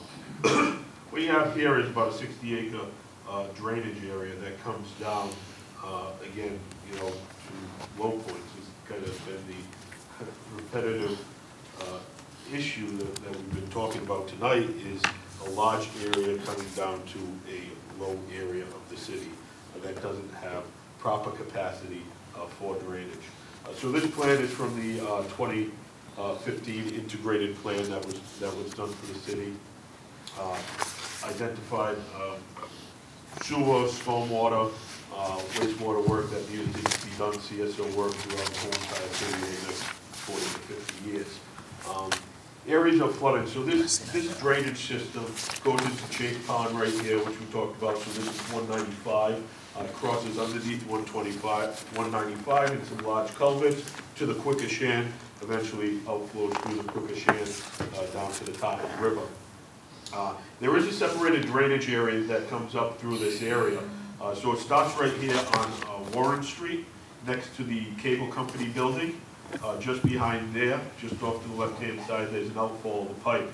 Uh, The pipe crosses the street, travels through the backyards of all the houses that are on Leaf Street and Utah Street, uh, continues up, passes uh, in between Simon Supply Building and the, uh, and the houses that are to the uh, east of Simon Supply, uh, continues across Grinnell Street, uh, in between houses, until it gets to Omen Street, heads towards the west, and then continues down and out into Brayton Ave. There's separated Brayton, catch basins on Brayton Ave, as well as Street. Uh, Low points within this, so there's areas, there's a separate drainage system as well in the Quequechan Jefferson Street Warren, uh, that has a separate outfall that goes to Chase Pond and comes out this way. Um, you know, again, we're dealing with a undersized drainage system to be able to take the uh, intensity of the rainstorms that, that we've been, uh, that we've been dealing with, uh, as well as, you know, the construction that has happened within the, this area. Uh, The outfall over here does open up to a pipe. Uh, This channel through here has had some sediment build up uh, over time. That's one thing that we're looking at right now, uh, to be able to get in there to clear out, to make sure that that has a uh, flow path uh, to be able to get right out to Chase Pond without any obstructions. Um, That is something that we're currently working on, uh, looking to bring a contractor in to do that work, because there's some specialized equipment that's, that's required. Uh, So that may provide uh, some moderate uh, alleviation to the issue, just not sure how much, because one of the problems is you still have the Quequechan and Chase Pond that have a tailwater that come back up this pipe, uh, almost to Grinnell Street.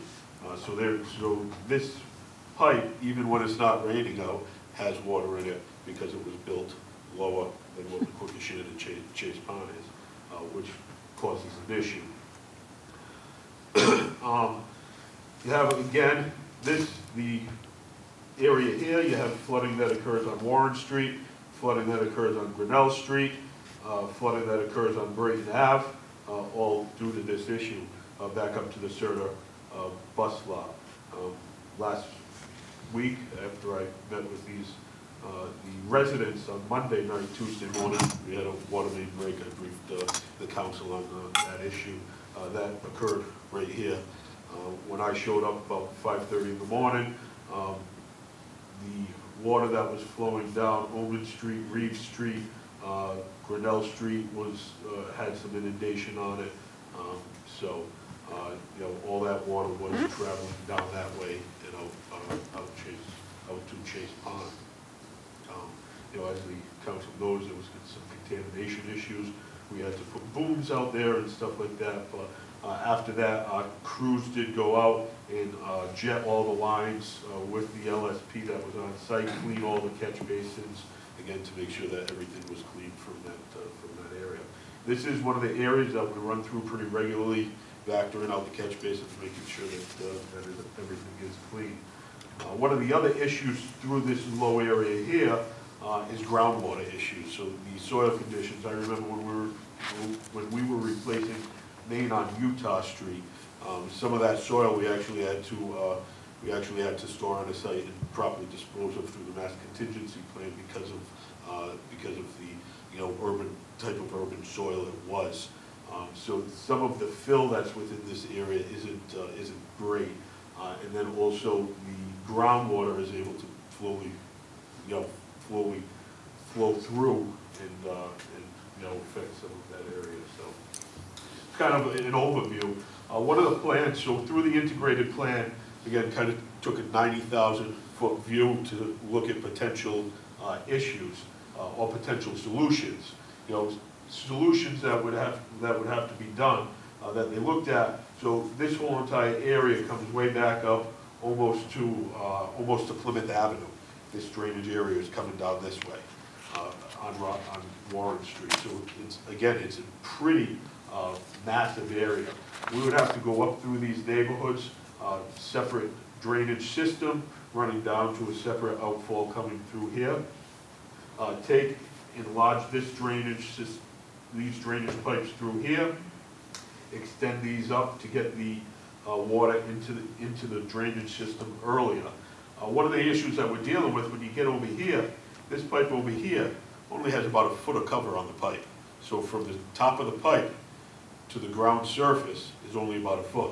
So that pipe is as high as it can come without coming out of the ground. So those are some of the issues that we're dealing, that we'd be dealing with with constructability. That doesn't allow for much drainage on the surface either, Correct, exactly. So when you, when you have a pipe that already has a tailwater in it, and you're dealing with the pipe so close to the ground, there's not much spot besides the road surface that it has to be able to pump. You know, again, uh, after a rainstorm, after it starts to subside, uh, you know, these areas do, the drainage does subside, uh, and, and move out, but it does impact the residents in that area. So how, you- how are you gonna fix that issue? So again, that's, you know, in the 2015 plan, the, uh, it was identified roughly about $11 million. That was 2015 uh, dollars, so it's drastically changed since then, but that would be doing drainage, larger drainage system up in this area, uh, increasing the drainage, the size of the pipe running down through this area, uh, getting more drainage in, in, out in these further areas to be able to convey it through the pipe system out. Uh, and then dredging of this whole area is another portion of that. So you would still have the water draining out to Chase Pond. Chase Pond? Yeah, there's no real other way to do it. You can't re, This- is that, is that wetland right there with the, is it just grade or is that? So, um, I don't know the directional, so So this is e- the old east one. of, east of the, uh, where, yeah, Walmart is and stuff right there, right there. Yeah, so that's another pond, but, um, again, so that part of the Quequechan, that flows this way. So the elevation over here potentially could be higher. And to make this break, to get from these low points, because this, you're almost coming uphill, and then Jefferson breaks back down. So what, what did you do with Rodman Street? So Rodman Street was always flooded, similar to, um, and maybe it was a different issue, but, you know, when you get to Rod, Rodman and, uh, is it, uh, Manchester Street? Rodman and Manchester. No, no, down further, um, like next to Stop and Shop. That, that was always flooding. Yeah, so, Tecumseh? yeah, so. No, further down. So I think it's Manchester. When Is you it get in- Manchester, when you get Lawrence? into Lowell, Lowell and, uh, and, uh, Lewiston Street. Yeah.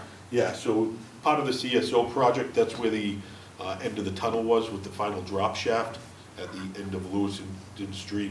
So that separated combined sewer that comes down Rodman Street now diverts into the twenty-foot diameter tunnel rather than heading towards Hartwell Street.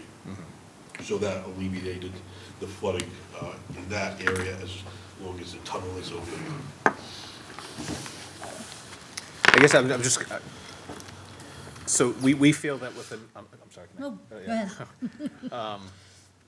So you feel by adding the additional drainage, you'll be able to rectify the problem with the piping itself being obviously lower than Well- Chase Pond? So, Because I, I- I just, I just, yeah. I'm struggling in my mind to, when we have a large rainstorm, that it's just gonna back, If you've ever- backfill anyways. If you've ever been through this Rodman intersection on a pretty heavy rainstorm, Yep.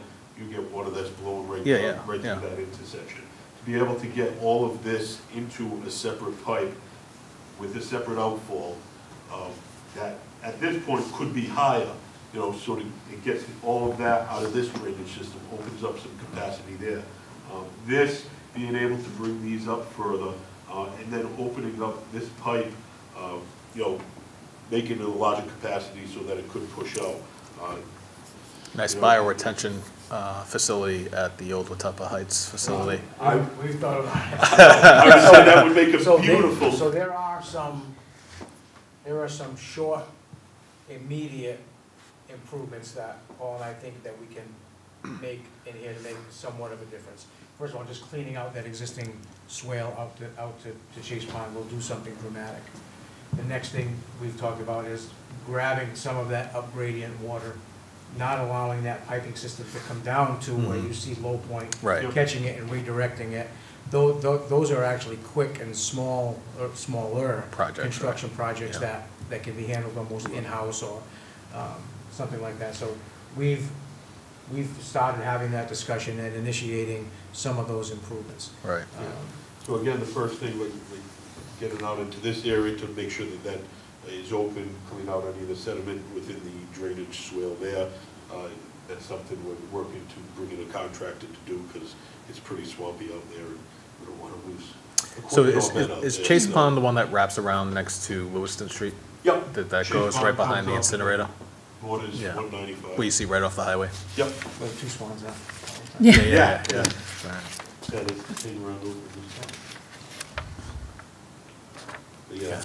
So this is, when we look at all, all three sites, this is the easiest one to fix. Because we do have elevation at our advantage. Everything up gradient of Rodman, or actually, actually, everything up gradient to the west, elevation works. Right. Um, Now it's just a matter of making everything that's on the low area big enough to take that all Yeah, through, so. so, but in terms of the backflow for a large, you know, let's just say, call it a, a ten-year storm, that seems like it's happening every other month.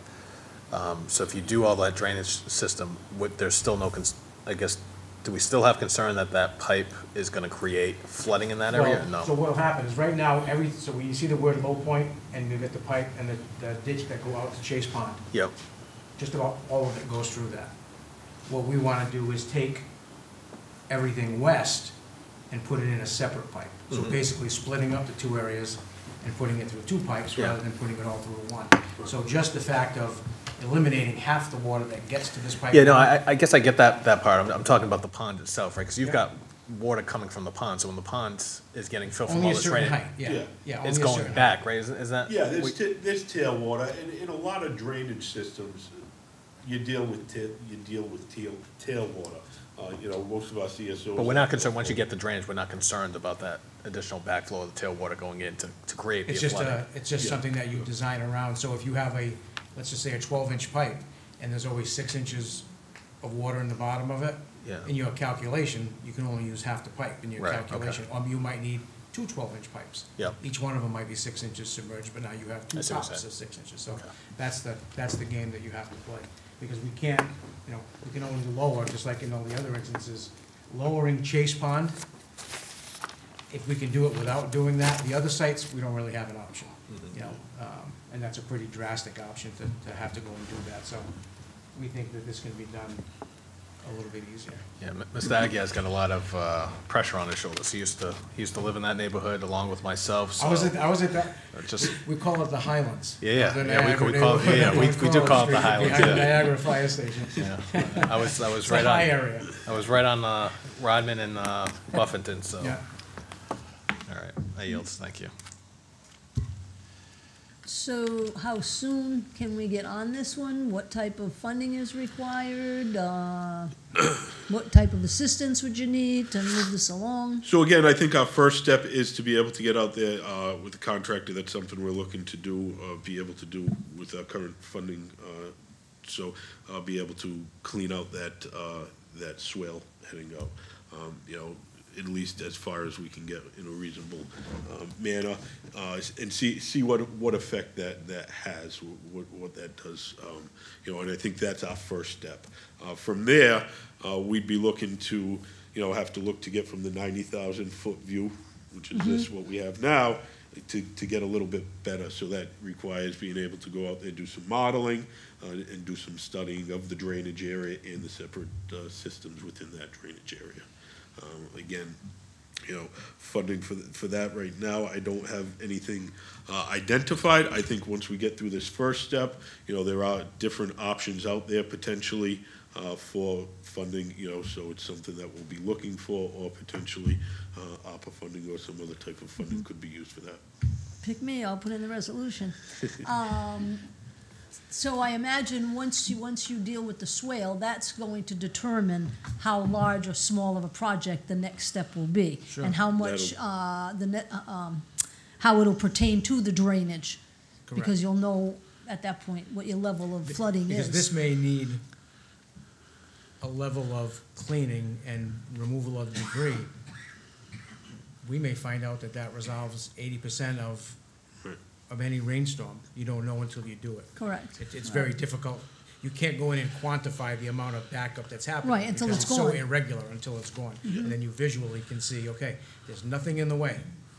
What, what, what can pass? And then, then now you have a starting point of, okay, what do we need to fix from here to here now? So we would anticipate, you know, well before, or probably by spring, what the next step will be, getting this cleaned up, taking a look at it through the wet season. Yep. Um, It's difficult during the winter months, you know, s- ground gets frozen, water Mm-hmm. Right. runs differently.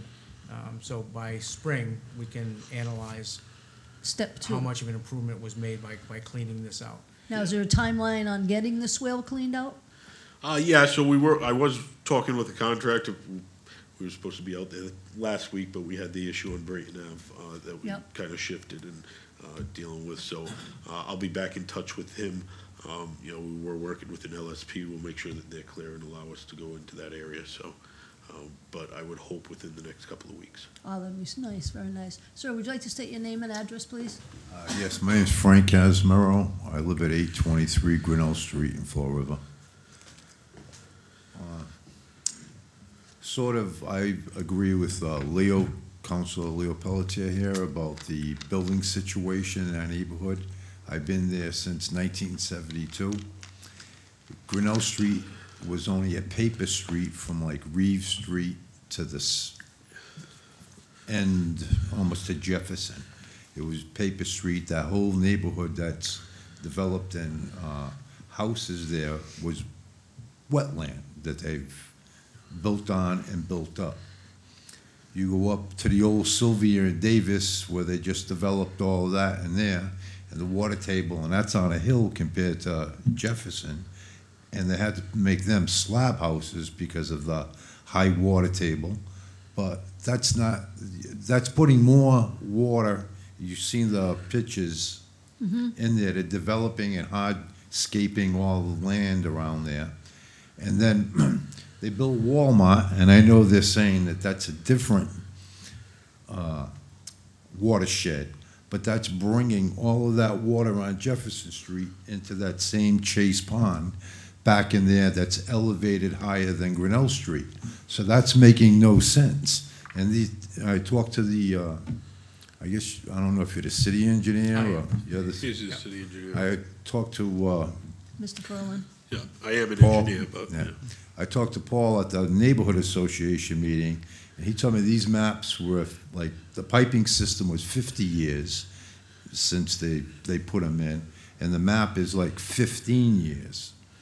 So at the same time, we have this type of information going back this far, and we know it's antiquated, doesn't work, and the city still builds a dike on Jefferson Street. Now, the mills used to have drive-throughs through them where water could escape. Now they're pushing it in the same place where Grinnell Street and ninety other acres are trying to drain into.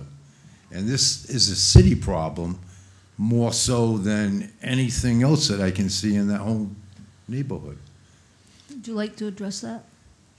Yeah, well, again, it's, it's, it's development over time. Um, Again, we're dealing with drainage systems. This one's probably a little bit newer than maybe than some of the others, but like when we say new, we're still talking 50, 60 years ago, you know, when something was done. And yes, all of these areas get, get built upon. And prior to 2015, there was no ordinance in place that forced people to take a hard look at drainage design. Um, That, that has all changed. So when someone comes in now to build a house on Grinnell Street, they go through, a for a single-family house, a pretty stringent review process uh, to make sure that their stormwater is being handled correctly. Paul's office is the most difficult to get through, and, and it has been for a long time, but it's because he's doing his job by what the ordinance has given him the ability to do. Prior to do, prior to that ordinance, he didn't have the ability to really put the clamps on a builder to say, you need to do this. And it's not just single-family homes, it's, it's Walmart. Now, again, Walmart's, does, does drain towards, you know, the east, and their drainage system is fairly elaborate to do that. But when you, when you look at everything as a whole, yes, the world is becoming impervious. So when I said, you know, the new teeth that we could get through site plan review would give us the ability to require a certain amount of landscaping, certain amount of trees to be planted on sites, not just come in and, we literally have some people that we chase that come in, build a house, and they concrete the entire lot. Yes. It's against zoning, so we, so now, now the chase is on. You're not in compliance with zoning, you're not in compliance with site plan review. So it's, it's a constant struggle to chase these people. Um, But that, that's what some people do. So as much as you try to regulate it, there are gonna be the few that fall through and just turn their blind eye to it. And then now, now the chase is on, and we have to go through the legal process to, to have them remove things. It's not always, not always simple, that's for sure. So site plan review, if the ordinance became a little bit beefier, we would have, you know, the ability to do a little bit more.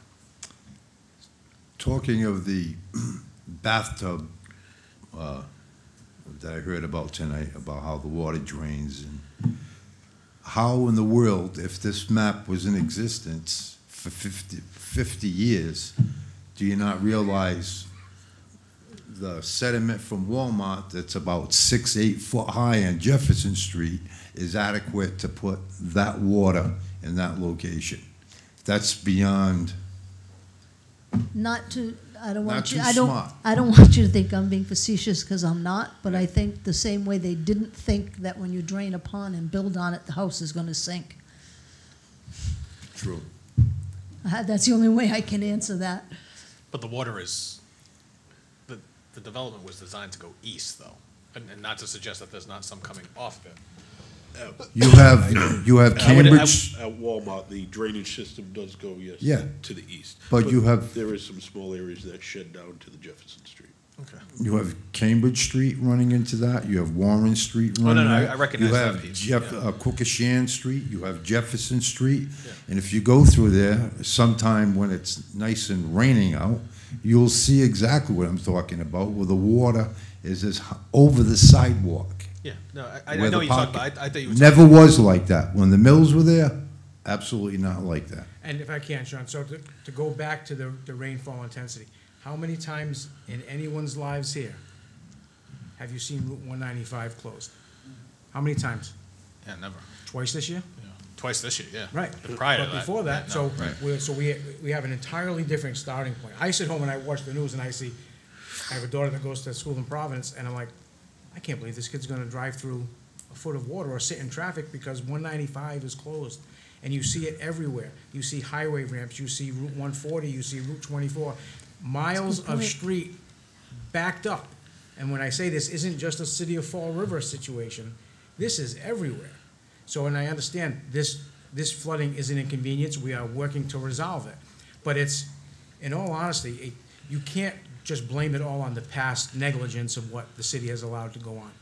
You can't. You have, you have to look at the science and what's happening rainfall-wise, because it's happening on interstate highway level that go through the most intense drainage design and, and, and try to handle everything they can. So when a highway floods, you're gonna, you have to expect that, that Quequechan Street is gonna flood as well. When you have five acres with weepy willow trees on them, cattails, uh, I don't know, eelgrass, you would call it, and you take that and you rip it all out and you build it three feet higher is really intelligent.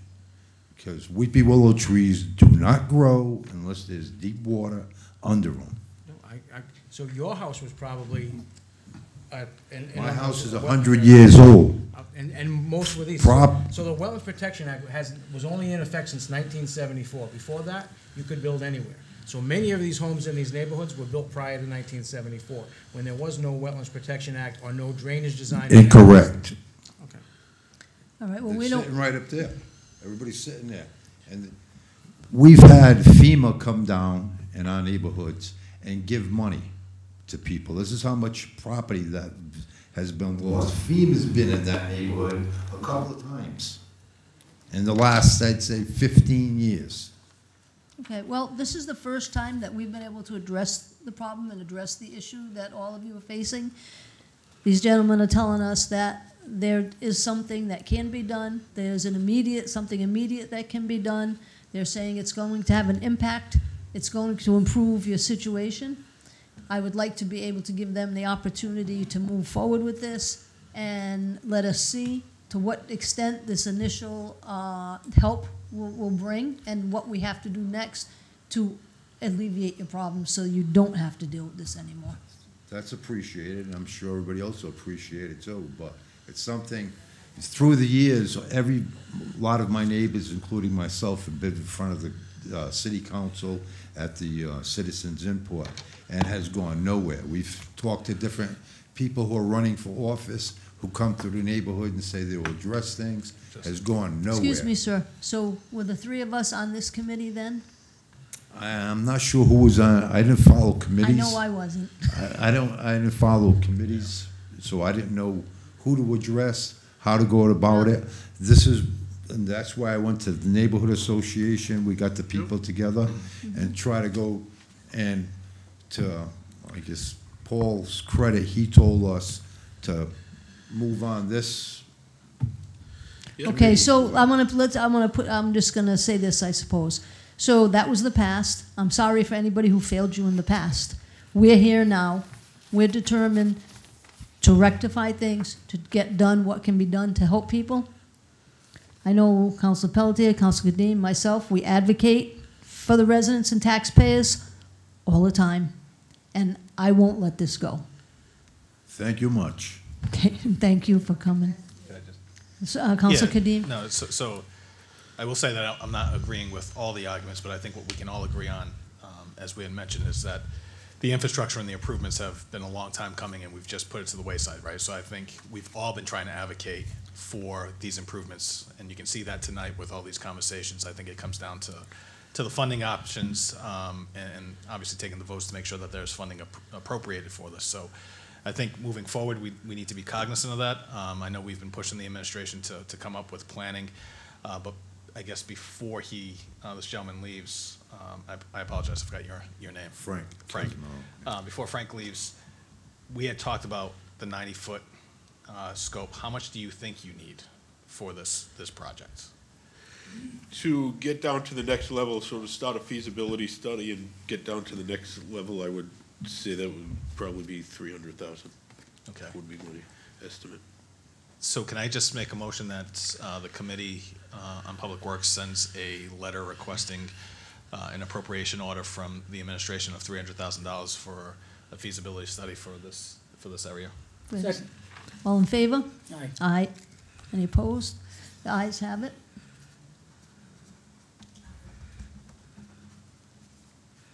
Can I vote?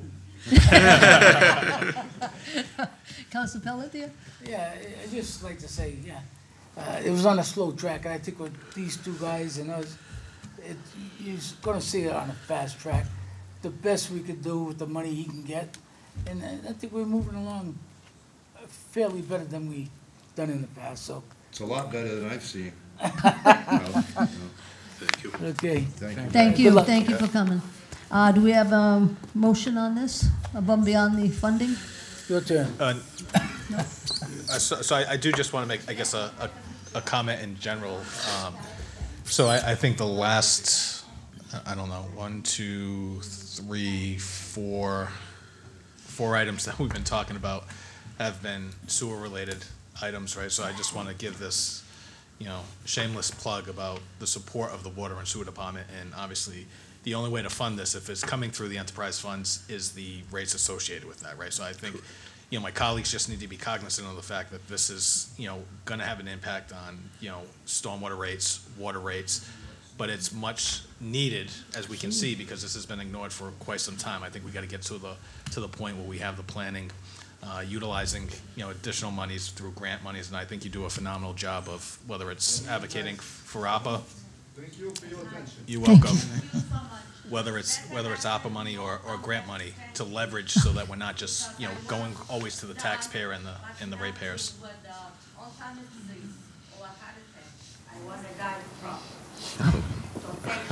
Thank you, have a good night.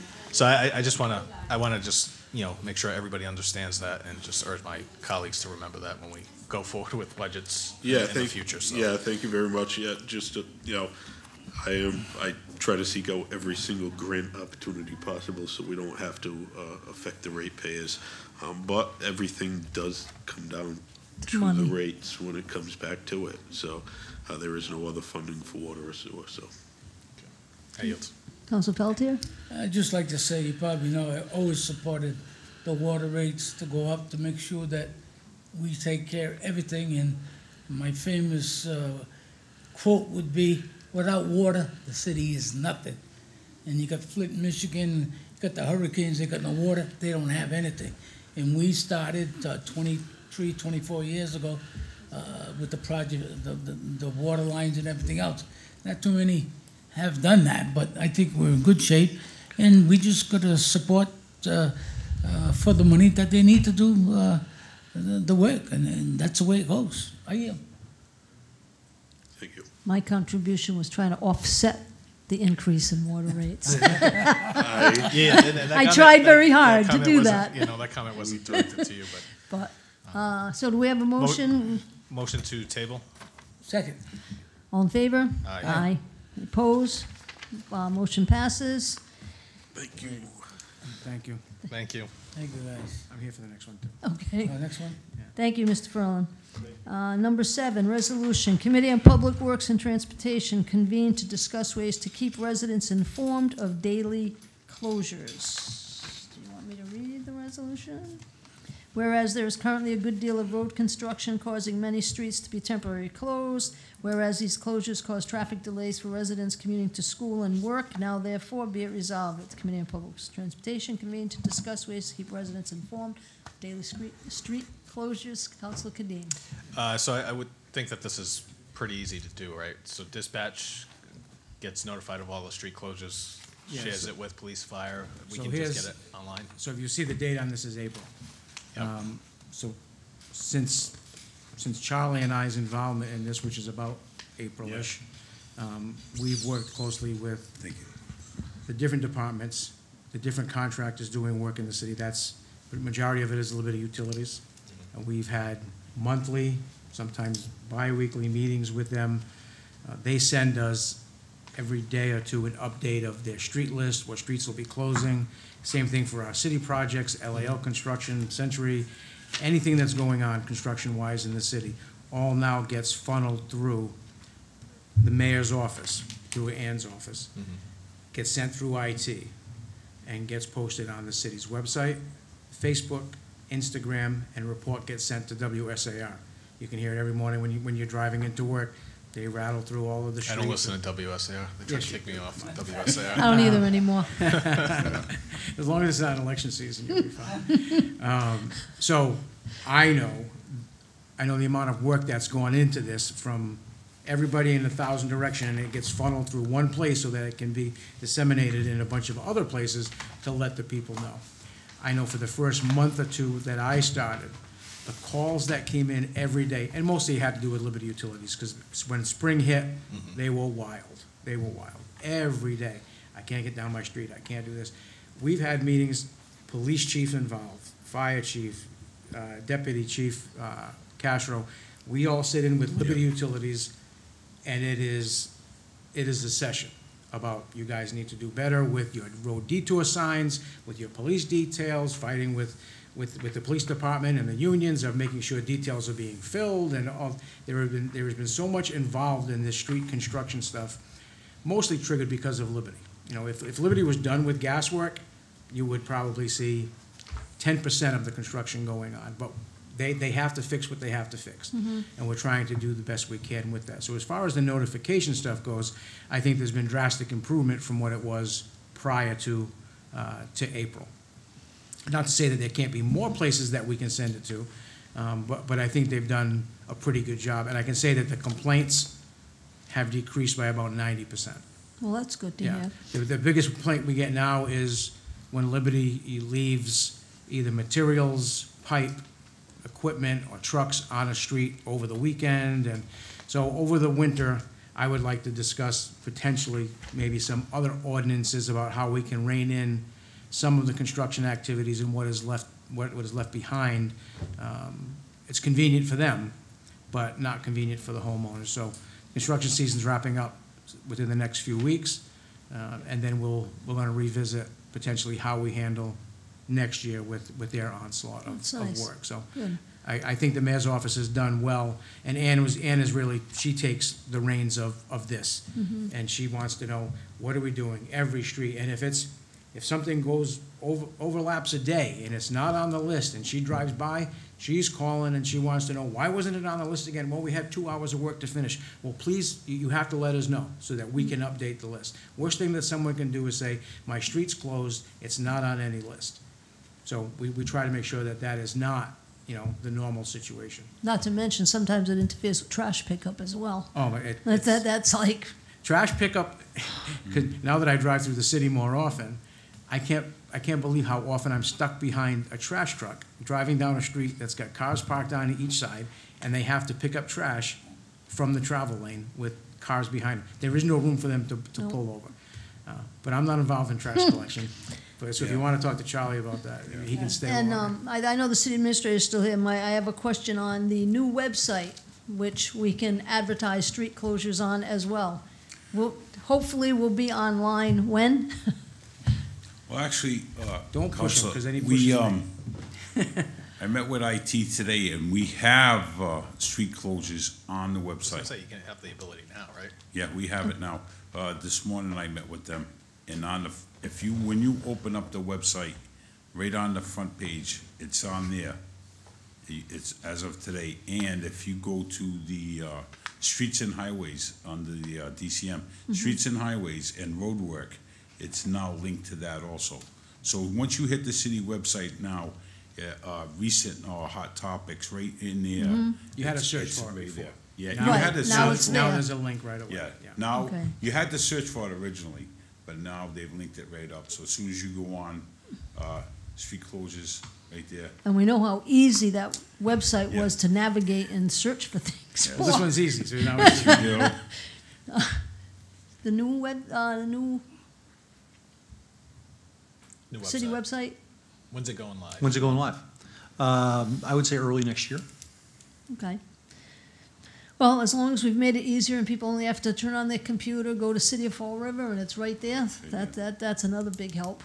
So, Yeah, It has been on there for a while, but they changed the location to make it even easier. it's a As wonderful Charlie said. thing. something important, and, and Seth's not gonna probably let you know, but in the process of working towards the new website, and, and he explained this to me, is we're actually making improvements to the site as it exists now. So when everything moves over, it moves over at once. So you're, you're gonna see drastic improvement probably in, in some of the existing website as well, just like something like Yeah. this, as we're, we're charged with reviewing all of our pages, how can we make it work better? and So as time goes on, we'll, we'll be Be implementing to some of those changes. You know, you'll, you'll see changes as it goes on. There, there was so much uh, antiquated information and links that went nowhere, so Seth's Mm-hmm. office has had us start cleaning all of those up, putting together lists, and so IT is going through and trying to clean up the existing before, so you don't want to migrate junk. So Mm-hmm. Right, hopefully, right. what you have is a solid core that can migrate over. So the city council might be listed under government instead of a department before the new website comes on? Well, so structurally, it probably, there won't be those changes. So the Right. structural changes are, a little- are a little more challenging just because it has to do with the architecture of the site. In terms of the currency of the information, that should improve. Yeah. So, small victories. Okay. Council Pelletier? Yeah, you know, we get uh, notification in our packages, I do, because I don't do email. But this one's dated uh, October twenty-eighth, and uh, Ferrera Construction, they got twelve street closures on this. And, uh, you know, you can call this, but I guess it's easier with IT now. But uh, we get the information, so we just gotta make We're sure. not that- worried about you getting the information, it's the rest of the city. that- yeah, I know. At, at least they're doing something. You know, We have it. We have it, and it comes in whenever they're they're Well, gonna. what they've done is, so on, on the link that comes from Ferrera and Liberty, yeah, if you look at the, the, uh, the list of who it goes to, I think everybody, I think everybody in the city probably gets it Yeah. directly. But that, there's really only one name that matters, and that's the mayor's office, so that Ann can take that information and put it on the different, the different sites that we have it on. I get them, I get four of them from four different departments. I get the one from planning, I get the one from engineering, I get, I get them from everywhere, so I, I delete three emails and open one. you should share it. Share it. No, I don't need to share it. Motion grant leave to withdraw? What was it? Grant leave to withdraw? Second. All in favor? Aye. Aye. Opposed? Ayes have it. Uh, Thank you, That's it. gentlemen. Thank you all very much. Thank you for Have a good spending night. so much time with us tonight. Motion to approve the minutes? Second. All in favor? Aye. Aye. Motion adjourned. Second. All in favor? Aye. Aye. Committee on Public Works and Transportation has convened. Nice job.